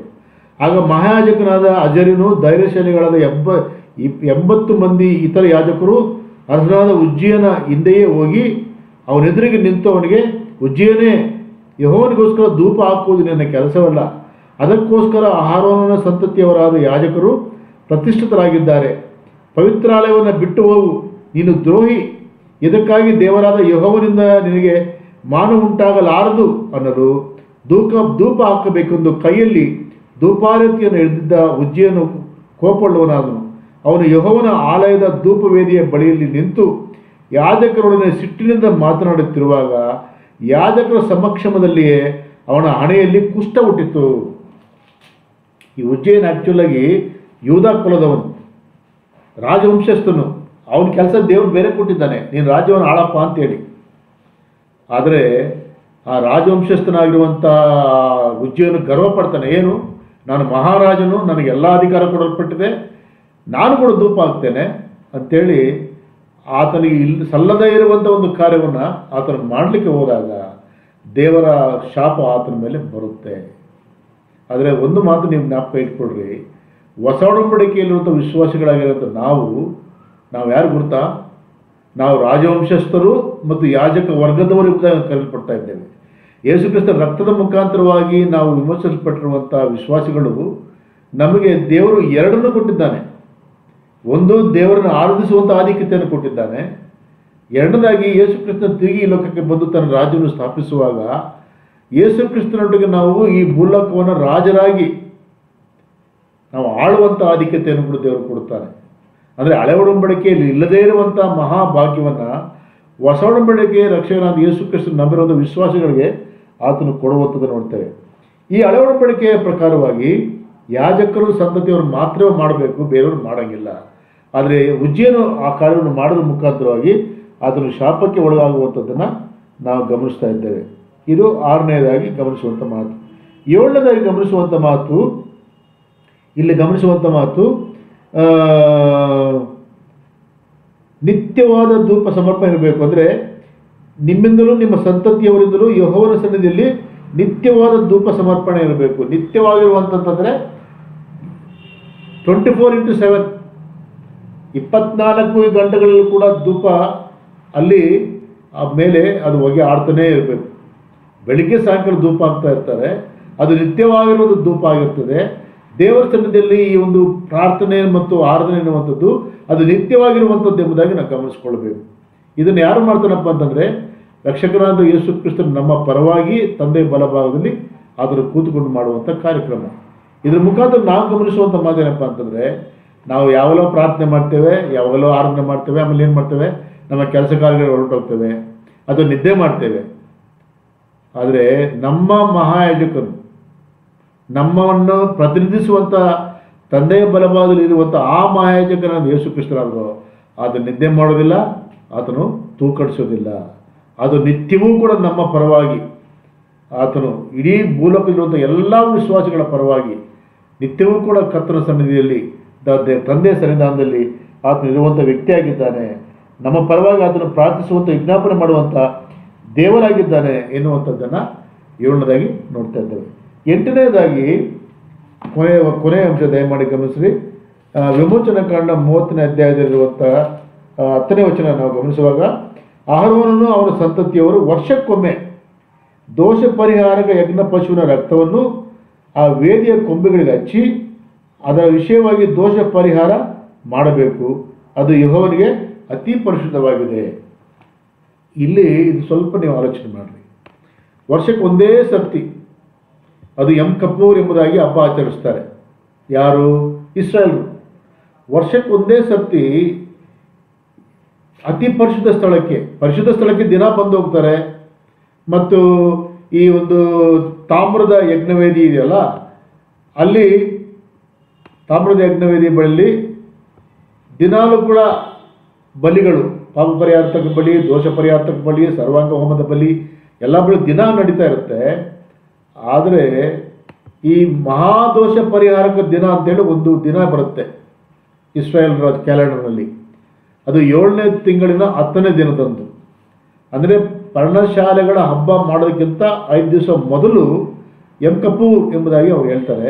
ಆ ದಿನದಿಂದ ಏನು ಮಾಡ್ತಾರೆ ಅಂತಂದರೆ ಮಹಾಯಾಜಕನು ಇಸ್ರೇಲ್ ಎಲ್ಲರ ಪರವಾಗಿ ಅತಿ ಪ್ರಸಿದ್ಧ ಸ್ಥಳವನ್ನು ಪ್ರವೇಶ ಮಾಡ್ತಾನೆ ಯಾವ ರೀತಿ ಪ್ರವೇಶ ಮಾಡ್ತಾನಪ್ಪ ಅಂತಂದರೆ, ಮೊದಲು ತನ್ನ ಪಾಪಕ್ಕೋಸ್ಕರವಾಗಿ, ತನ್ನ ಕುಟುಂಬದ ಪಾಪಕ್ಕೋಸ್ಕರವಾಗಿ ಒಂದು ಹೋರಿಯನ್ನು, ಒಂದು ಟಗರನ್ನು ಆತನು ಸಮರ್ಪಿಸಿ, ಪಾಪ ಪರಿಹಾರತಕ್ಕ ಬಲಿಯಾಗಿ ಆತನ ಅವುಗಳನ್ನು ಒಪ್ಪಿಸಿಕೊಟ್ಟು ಅದರ ರಕ್ತವನ್ನು ತೆಕ್ಕೊಂಡು ಪ್ರವೇಶ ಮಾಡ್ತಾನೆ ಮೊದಲನೇ ಸರ್ತಿ. ಮತ್ತು ಎರಡನೇ ಸರ್ತಿ ಏನು ಮಾಡ್ತಾರಪ್ಪ ಅಂತಂದರೆ ಇಸ್ರಾಯೇಲ್ ಜನರು ಎಲ್ಲರ ಪರವಾಗಿ ಒಂದು ಓತ ಮತ್ತು ಒಂದು ಟಗರು. ಅದರ ರಕ್ತವನ್ನು ತೆಗೆದುಕೊಂಡು ಓತ ಮತ್ತು ಟಗರು, ಅದರ ರಕ್ತವನ್ನು ತೆಕ್ಕೊಂಡು ಏನು ಮಾಡ್ತಾನೆ? ಈ ಒಂದು ತೆರೆಯನ್ನು ದಾಟಿ ಒಳಕ್ಕೆ ಹೋಗಿ ಆ ಒಂದು ಕೃಪಾಸನ ಅಂತ ಇದೆಯಲ್ಲ ಕೃಪಾಸನ ಅಂದರೆ ಯಾವುದು ಗೊತ್ತಾ? ಇದು. ಈ ಕೃಪಾಸನದ ಮೇಲೆ ಏಳು ಸರ್ತಿ ರಕ್ತವನ್ನು ಚಿಮುಕಿಸಿ ಅದು ಹೊರ ಬರ್ತಾನೆ ಆ ರೀತಿಯಾಗಿ ಮಾಡೋದ್ರ ಮುಖಾಂತರ ಏನಾಗುತ್ತೆ ಅಂತಂದ್ರೆ ಇಸ್ರಾಯೇಲ್ನ ದೇಶದಲ್ಲಿರುವಂಥ ಎಲ್ಲ ಇಸ್ರೇಲ್ ಜನರ ಪಾಪ ಒಂದು ವರ್ಷ ಮುಚ್ಚಲ್ಪಡುತ್ತೆ. ಅಂದ್ರೆ ದೇವರು ಒಂದು ವರ್ಷ ಅವರಿಗೆ ಆ ಪಾಪಕ್ಕೆ ತಕ್ಕ ಶಿಕ್ಷಣ ಕೊಡಲ್ಲ. ಈ ರಕ್ತದ ಮುಖಾಂತರವಾಗಿ ಈ ರಕ್ತವನ್ನು ನೋಡಿ ಒಂದು ವರ್ಷ ಅವರಿಗೆ ಪಾಪದ ಶಿಕ್ಷಣ ಕೊಡಲ್ಲ. ಆ ಒಂದು ವರ್ಷ ಮುಗಿದ ಕೂಡಲೇ ಇನ್ನೊಂದು ವರ್ಷ ಮತ್ತೆ ಹೊಸ ವರ್ಷ ಬಂದಾಗ ತಿರುಗಿ ಎಲ್ಲರ ಇಸ್ರೇಲ್ ಪರವಾಗಿ ಮಹಾಯಾಜಕನು ಈ ಒಂದು ತೆರೆಯನ್ನು ದಾಟಿ ಇಲ್ಲಿ ರಕ್ತವನ್ನು ಚಿಮುಕಿಸಲು ಮುಖಾಂತರವಾಗಿ ಮತ್ತಿನ್ನೊಂದು ವರ್ಷ. ಆ ರೀತಿಯಾಗಿ ಪದೇ ಪದೇ ವರ್ಷ ವರ್ಷ ದೇವರ ಗಮನಕ್ಕೆ ಇಸ್ರಾಯೇಲ್ನ ಪಾಪವು ಜ್ಞಾಪಕಕ್ಕೆ ಬಾರದ ರೀತಿಯಲ್ಲಿ ಮತ್ತು ಪಾಪಕ್ಕೆ ಬರತಕ್ಕಂಥ ಶಿಕ್ಷೆ ಅವರ ಮೇಲೆ ಬಾರದ ರೀತಿಯಲ್ಲಿ ಈ ಒಂದು ಮಹಾದೋಷ ಪರಿಹಾರಕ ದಿನದಂದು ವರ್ಷದ ಏಳನೇ ತಿಂಗಳಿನ ಹತ್ತನೇ ದಿನದಲ್ಲಿ ಮಹಾಯಾಜಕನು ಇಸ್ರಾಯೇಲ್ ಪರವಾಗಿ ತೆರೆಯನ್ನು ದಾಟಿ ಒಳಕ್ಕೆ ಹೋಗಿ ರಕ್ತವನ್ನು ಚಿಮುಕಿಸ್ತಾನೆ ಏಳು ಸರ್ತಿ ಆದರೆ ಇಲ್ಲಿ ಮಾಡುವಂಥ ಇನ್ನೊಂದು ಮುಖ್ಯ ಕಾರ್ಯ ಇದೆ. ಅದೇನಪ್ಪ ಅಂತಂದರೆ, ಈ ಯಾಜಕನ ಒಳಗೆ ಪ್ರವೇಶ ಮಾಡೋದಕ್ಕಿಂತ ಮೊದಲು ಅವನೇನು ಮಾಡ್ತಾನಪ್ಪ ಅಂತಂದರೆ, ಈ ಒಂದು ಯಜ್ಞವೇದಿಯಲ್ಲಿರುವಂಥ ಕೆಂಡಗಳನ್ನು ತಕ್ಕೊಂಡು, ಅದು ಪಿಕ್ಚರ್ ಪಿಕ್ಚರ್ ಹಾಕ್ಲಿಲ್ಲ ನನ್ನ ಕಾಣುತ್ತೆ.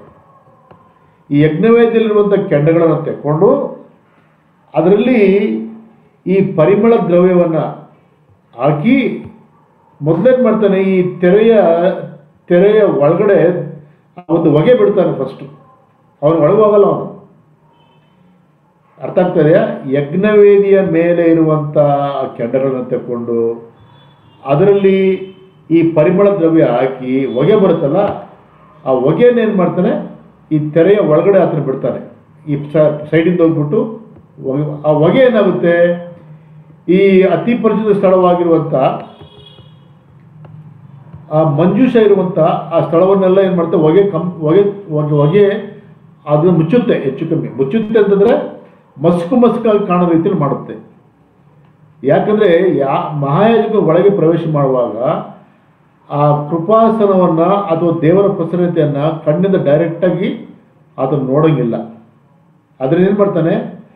ಆ ಹೊಗೆಯನ್ನು ಫಸ್ಟು ಈ ಒಂದು ಯಜ್ಞವೇದಿಯ ಮೇಲಿರುವಂಥ ಬೆಂಕಿಯಲ್ಲಿ ಪರಿಮಳ ದ್ರವ್ಯವನ್ನು ಹಾಕಿ ಅದರ ಹೊಗೆಯನ್ನು ಒಳಕ್ಕೆ ಬಿಟ್ಟು ಹೊಗೆ ಅದು ತುಂಬಿದ ಮೇಲೆ ಅದಾದ ಮೇಲೆ ಆತನ ಒಳಕ್ಕೆ ಹೋಗಿ ಆ ರಕ್ತವನ್ನು ಏನು ಮಾಡ್ತಾನೆ? ಏಳು ಸತಿ ಚುಮುಕ್ಸ್ಬಿಟ್ಟು ಗಬಕ್ಕೆ ಹೊರಗೆ ಬರ್ತಾನೆ. ಯಾತಕ್ಕೆ ಹೊರಗೆ ಬರ್ತಾನಪ್ಪ ಅಂತಂದರೆ ಒಂದು ವೇಳೆ ಅವನಲ್ಲಿ ಏನಾದರೂ ಪಾಪ ಇದ್ದರೆ ಅಲ್ಲೇ ಸತ್ತು ಬೀಳ್ತಾನೆ. ಆ ರೀತಿ ಆ ರೀತಿ ಸತ್ತು ಬಿದ್ದರೆ ಜನರು ಅದು ಬೇರೆ ಯಾಜಕರು ಬಂದ್ಬಿಟ್ಟು ಒಳಗೋಗ್ಬಿಟ್ಟು ಅವನ ತರಂಗಿಲ್ಲ. ಅವ್ ಏನು ಮಾಡ್ತಾರೆ ಗೊತ್ತಾ ಅವರು? ಅವನ ನಡುವಿಗೆ ಒಂದು ಪಟ್ಟಿಯನ್ನು ಕಟ್ಟಿರ್ತಾರೆ, ಒಂದು ಹಗ್ಗದ ರೀತಿಯಲ್ಲಿ. ಹಗ್ಗದವನ್ನು ಈ ತೆರೆಯಿಂದ ಹೊರಗಡೆ ಯಾಜಕರು ಇಟ್ಕೊಂಡಿರ್ತಾರೆ. ಅವನು ಒಳಗಡೆ ಹೋಗ್ಬಿಟ್ಟು ಏಳು ಸತಿ ರಕ್ತವನ್ನು ಚಿಮುಕಿಸಿ ಬರುವವರೆಗೆ ಅವ್ರು ಕಾಯ್ತಾರೆ.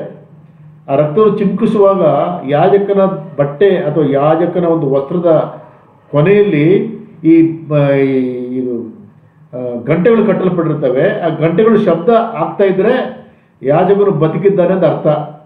ಆ ಗಂಟೆಗಳು ಶಬ್ದ ಆಗೋದು ನಿಂತೋಯ್ತು ಅಂತಂದ್ರೆ ಏನೋ ಪಾಪ ಇದೆ, ಅದಕ್ಕೆ ತಕ್ಕ ತಕ್ಕ ಪರಿ, ಪಾಪ ಪರಿಹಾರಾರ್ಥವಾಗಿರುವಂಥ ಬಲಿಗಳನ್ನು ಸಾವಿರ ಸರಿಯಾಗಿ ಸಮರ್ಪಿಸಲಿಲ್ಲ. ಅದು ಅವನ ಬಲಿಯನ್ನು ದೇವರು ಅಂಗೀಕರಿಸಲಿಲ್ಲ. ಅಂತೇಳಿ ಅವನು ದೇವರು ಅಲ್ಲೇ ಸಾಯಿಸಿಬಿಟ್ಟದನ್ನ ಅಂತೇಳಿ ಏನು ಮಾಡ್ತಿದ್ರು ಅಂದ್ರೆ ಹಗ್ಗವನ್ನು ಇಟ್ಕೊಂಡು ಅವನು ಎಣವನ್ನು ಹೊರಕ್ಕೆ ಹೊರಕ್ಕೆ ಎಳಿತಾ ಇದ್ರು. ಅಂತ ಒಂದು ಪರಿಶುದ್ಧವಾಗಿರುವ ದೇವರ ಸನ್ನಿಧಾನ ಎನ್ನುವಂಥದ್ದು ಈ ಸಂದರ್ಭದಲ್ಲಿ ನಾವು ಜ್ಞಾಪಕ ಮಾಡಿಕೊಳ್ಬೇಕು. ಈ ಪರಿಶುದ್ಧವಾಗಿರುವ ದೇವರ ಸನ್ನಿಧಾನಕ್ಕೆ ಅವನು ಪ್ರವೇಶ ಮಾಡಬೇಕಾದ್ರೆ ಈ ಯಜ್ಞವೇದಿಯ ಮೇಲಿರುವಂಥ ಆ ಬೆಂಕಿಯಲ್ಲಿ ಧೂಪವನ್ನು ಹಾಕಿಕೊಂಡು ಹೊಗೆಯನ್ನು ಪೂರ ಬಿಟ್ಟು ಆ ಮಸ್ಕು ಮಸ್ಕಾಗಿ ಕಾಣುವಂಥ ಆ ಮಂಜೂಷದ ಆ ಕೃಪಾಸನದ ಮೇಲೆ ಏಳು ಸತಿ ರಕ್ತವನ್ನು ಚಿಮುಕಿಸಿ ಅದನ್ನು ಹೊರಗೆ ಬಂದ ಅಂತಂದರೆ ಇನ್ನು ಒಂದು ವರ್ಷ ನನ್ನ ಜೀವ ಮಿಕ್ತು ಅನ್ನುವಂಥ ಒಂದು ಉಸಿರಾಡುವಂಥ ಒಂದು ಕಾರ್ಯ ಆತನು ಮಾಡ್ತಾನೆ. ಇದು ಯಾಕೆ ಹೇಳ್ತಿದ್ದೀನಪ್ಪ ಅಂತಂದರೆ, ದೇವರು ಆತನು ಪರಿಶುದ್ಧನು, ಯಹೋವನು ಪರಿಶುದ್ಧನು. ಆತನ ಪರಿಶುದ್ಧತೆ ಇನ್ನು ಯಾವ ದೇವರಲ್ಲಿ ಕೂಡ ಈ ಲೋಕದಲ್ಲಿ ಕಾಣೋದಿಲ್ಲ. ಈ ಲೋಕದಲ್ಲಿ ಎಷ್ಟೋ ದೇವ ದೇವತೆಗಳಿದೆ, ಆದರೆ ತೆಲುಗಿನಲ್ಲಿ ಒಂದು ರಾಗ ಇದೆ. ಆತನ ಪರಿಶುದ್ಧತೆಯನ್ನು ಬೇರೆ ಯಾವ ದೇವರಲ್ಲಿದೆ ತೋರಿಸ್ರಿ ಅಂತೇಳಿ, ಯಾವ ದೇವರಲ್ಲಿ ಇರಲು ಕೂಡ. ನಮ್ಮ ದೇವರಾದ ಯಹೋವನಲ್ಲಿ ಯೇಸು ಕ್ರಿಸ್ತನ ಪರಿಶುದ್ಧತೆ ಇದೆ. ಆತನ ಆರಾಧಿಸುವಂಥವ್ರು ಕೂಡ ಆತ್ಮದಿಂದಲೂ ಸತ್ಯದಿಂದಲೂ ಪರಿಶುದ್ಧ ಭೂಷಿತರಾಗಿ ಆರಾಧಿಸಬೇಕೆನ್ನುವಂಥದ್ದು ಕೂಡ ನಾವು ಈ ಒಂದು ಧ್ಯಾನದಲ್ಲಿ ನಾವು ತಕ್ಕೊಳ್ಳಬಹುದು. ಅದರಿಂದ ಯಜ್ಞವೇದಿ ಕುರಿತಾಗಿರುವಂಥ ಮುಖ್ಯವಾಗಿರುವಂಥ ಏಳು ಸಂಗತಿಗಳನ್ನು ನಾವು ಗಮನಿಸಿದ್ದೇವೆ.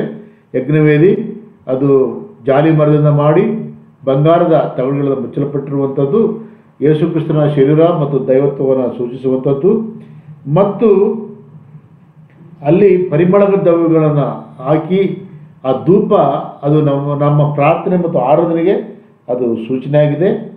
ಈ ಧೂಪ ಮತ್ತು ಈ ಧೂಪವನ್ನು ಬೆಳಿಗ್ಗೆ ಮತ್ತು ಸಂಜೆ ಈ ದೀಪಸ್ತಂಭದಲ್ಲಿರುವಂಥ ದೀಪವನ್ನು ಸರಿಪಡಿಸುವಾಗ ಅದನ್ನು ಮಾಡಬೇಕು ಅಂತಂದರೆ ಪವಿತ್ರಾತ್ಮ ಪ್ರೇರಿತರಾಗಿ ನಮ್ಮ ಪ್ರಾರ್ಥನೆ ಮತ್ತು ಆರಾಧನೆ ಇರಬೇಕು.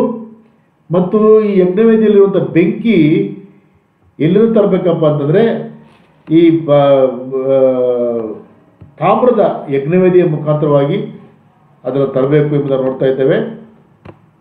ಮತ್ತು ಯಾವ ಯಾಜಕರಾದರೆ ಯಜ್ಞವೇದಿಯಲ್ಲಿ ಪಾಪ ಪರಿಹಾರ ಅಂತ ಬಲಿಗಳನ್ನು ಅದೇ ಯಾಜಕರು ಈ ಧೂಪವನ್ನು ಕೂಡ ಹಾಕುವಂಥದ್ದು. ಅದು ನಮ್ಮ ರಕ್ಷಕನಾದ ಯೇಸು ಕ್ರಿಸ್ತನ ಎರಡು ಕಾರ್ಯಗಳು. ಒಂದು, ಆತನ ಪಾಪ ನಿವಾರಣಾರ್ಥ ಬಲಿಯಾಗಿ ಅದನ್ನು ಸಮರ್ಪಿಸಲ್ಪಟ್ಟಿದ್ದಾನೆ.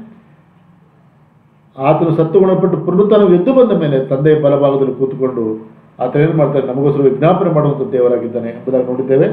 ನಾಲ್ಕನೆಯದಾಗಿ ನಾದಾಬ್ ಮತ್ತು ಅಬಿವು ಎಂಬುವರು ಈ ಯಜ್ಞವೇದಿಯ ಬೆಂಕಿಯನ್ನು ತಾರದೆ ಬೇರೆ ಬೆಂಕಿಯನ್ನು ತಂದಿದ್ದರಿಂದ, ಬೇರೆ ಬೆಂಕಿ ಅಂದ್ರೇನು ಬೇರೆ ಸುವಾರ್ತೆ, ಬೇರೆ ತರವಾಗಿರುವ ರಕ್ಷಣೆಯ ಮಾರ್ಗ. ಯೇಸು ಕ್ರಿಸ್ತನು ನಾನೇ ಮಾರ್ಗವು ಸತ್ಯವು ಜೀವ ಎಂಬುದು ಹೇಳಿದ್ದಾನಲ್ಲ, ಆ ಮಾರ್ಗ ಬಿಟ್ಟು ಬೇರೆ ಮಾರ್ಗದಿಂದಲೂ ಕೂಡ ನಾವು ದೇವರ ಬಳಿಗೆ ಹೋಗಬೇಕು ಅನ್ನುವಂಥ ಒಂದು ಧ್ಯೇಯ. ಅವರು ಮಾಡಿದ್ದರಿಂದ, ಅವರು ಕೊಲ್ಲಲ್ಪಡುವಂಥದ್ದನ್ನು ನಾವು ನೋಡ್ತಾ ಇದ್ದೇವೆ. ಮತ್ತು ನಿತ್ಯವಾಗಿರುವಂಥ ಈ ಧೂಪಾರಣೆ ಧೂಪ ಸಮರ್ಪಣೆ ಎನ್ನುವಂಥದ್ದು ನಮ್ಮ ತಂದೆಯಾಗ, ನಮ್ಮ ರಕ್ಷಾದ ಯೇಸು ಕ್ರಿಸ್ತನು ನಿದ್ದೆ ಮಾಡುವುದನ್ನು ತೂಕಡಿಸದೆ ನಮಗೋಸ್ಕರ ವಿಜ್ಞಾಪನೆ ಮಾಡುವಂಥ ದೇವರಾಗಿದ್ದಾನೆ. ಮತ್ತು ದೋಷ ಪರಿಹಾರಾರ್ಥಕ ಮಹಾದಿನದಂದು ಈ ಧೂಪದ ಕೆಂಡಗಳಲ್ಲಿ ಬಂದಂಥ ಒಂದು ಧೂಪವೇ ಅತಿ ಪರಿಶುದ್ಧ ಸ್ಥಳದಲ್ಲಿರುವಂಥ ಮಂಜೂಷವನ್ನು ಅದು ಮುಚ್ಚಿ ಯಾಜಕನಿಗೆ ಹಾನಿ ಉಂಟಾಗದ ರೀತಿಯಲ್ಲಿ ಕಾಯುವಂಥ ಧೂಪವಾಗಿರುವಂಥದ್ದನ್ನು ಕೂಡ ನಾವು ಗಮನಿಸಿದ್ದೇವೆ. ಇವೆಲ್ಲವೂ ಕೂಡ ನಮ್ಮ ರಕ್ಷಕರಾದ ಯೇಸು ಕ್ರಿಸ್ತನಲ್ಲಿ ಅದು ನೆರವೇರಲ್ಪಟ್ಟಿದೆ ಒಂದೇ ಒಂದು ವಾಕ್ಯವನ್ನು ಹೇಳಿ ನಾನು ಮುಗಿಸ್ತೇನೆ. ಎಬ್ರಿಯ ಬರೆದ ಪತ್ರಿಕೆ ಹದಿಮೂರನೇ ಅಧ್ಯಾಯ ಹತ್ತನೇ ವಚನ ಓದ್ರಿ. ಎಬ್ರಿಯ ಬರೆದ ಪತ್ರಿಕೆ ಹದಿಮೂರನೇ ಅಧ್ಯಾಯ ಹತ್ತನೇ ವಚನ. ಎಬ್ರಿಯ ಬರೆದ ಪತ್ರಿಕೆ ಹದಿಮೂರನೇ ಅಧ್ಯಾಯ ಹತ್ತನೇ ವಚನ. ನಮಗೊಂದು ಯಜ್ಞ ವೇದಿ ಉಂಟು ಈ ವೇದಿಯ ಪದಾರ್ಥಗಳನ್ನು ತಿನ್ನುವುದಕ್ಕೆ ಯಹುದ್ಯರ ಗುಡಾರದಲ್ಲಿ ಸೇವೆಯನ್ನು ನಡೆಸುವವರಿಗೆ ಅಕ್ಕಿಲ್ಲ ಮಹಾಯಾಜಕನು ದೋಷ ಪರಿಹಾರಕ ಯಜ್ಞದ ಪಶುಗಳ ರಕ್ತವನ್ನು ತೆಗೆದುಕೊಂಡು ಅಷ್ಟೇ ಸಾಕು. ಸಾಕು ನಮಗೊಂದು ಯಜ್ಞವೇದಿ ಉಂಟು ಎಂಬುದಾಗಿ ಅಪೋಸ್ ಪೌಲನು ಇಲ್ಲಿ ಹೇಳುವಂಥದ್ದನ್ನು ನೋಡ್ತಾ ಇದ್ದೇವೆ. ನಮಗೊಂದು ಯಜ್ಞವೇದಿ ಉಂಟು. ನಮಗೊಂದು ಯಜ್ಞವೇದಿ ಅಂತ ಅರ್ಥ ಏನು? ಅಂತಂದ್ರೆ ಇಬ್ರಿಯರು ಅಥವಾ ಯಹೂದ್ಯರು ಅವ್ರ ರಕ್ಷಣೆ ಅನುಭವಕ್ಕೆ ಬಂದ ಮೇಲೆ ಇವರು ಆರಾಧನೆಗೋಸ್ಕರವಾಗಿ ಸೇರಿ ಬರ್ತಾ ಇದ್ರು. ರೊಟ್ಟಿ ಮತ್ತು ಪಾತ್ರೆಯನ್ನು ಇಟ್ಟುಕೊಂಡು ಆರಾಧನೆ ಮಾಡ್ತಾ ಇದ್ರೆ, ರಕ್ಷಣೆ ಬಗ್ಗೆ ಬಾರದೇ ಇರುವಂಥ ಹೆಬ್ರಿ ಏನು ಮಾಡ್ತಿದ್ರೆ, ಅಲ್ಲಿ ಅದೇನಿದೆ ಅಲ್ಲಿ. ನಮ್ಮಲ್ಲಿ ದೇವದರ್ಶನ ಗುಡಾರ ಉಂಟು, ನಮ್ಮಲ್ಲಿ ಯಾಜಕತ್ವ ಉಂಟು, ನಮ್ಮಲ್ಲಿ ಬಲಿಗಳುಂಟು, ನಮ್ಮಲ್ಲಿ ಯಜ್ಞಗಳುಂಟು, ಯಾಗಾದಿಗಳುಂಟು, ಹಬ್ಬಗಳುಂಟು ನೀವು ಯೇಸು ಕ್ರಿಸ್ತ ನಂಬಿಕೊಂಡು ಎಲ್ಲ ಬಿಟ್ಟರೆ ಏನು ಸಿಕ್ಕುತ್ತೆ ನಿಮಗೆ? ಅಂತ ಅವರು ಅವ್ರನ್ನ ಪ್ರಚೋದಿಸುವಂಥ ಸಂದರ್ಭದಲ್ಲಿ ಪೌಲ್ ಹೇಳ್ತಾ ಇದ್ದಾನೆ, ಅವೆಲ್ಲವೂ ಕೂಡ ರಕ್ಷಕನಾಗಿರುವಂಥ ಯೇಸು ಕ್ರಿಸ್ತನ ನೆರವೇರಲ್ಪಟ್ಟಿರುವಂಥ ಯಜ್ಞವೇದಿ ನಮಗುಂಟು.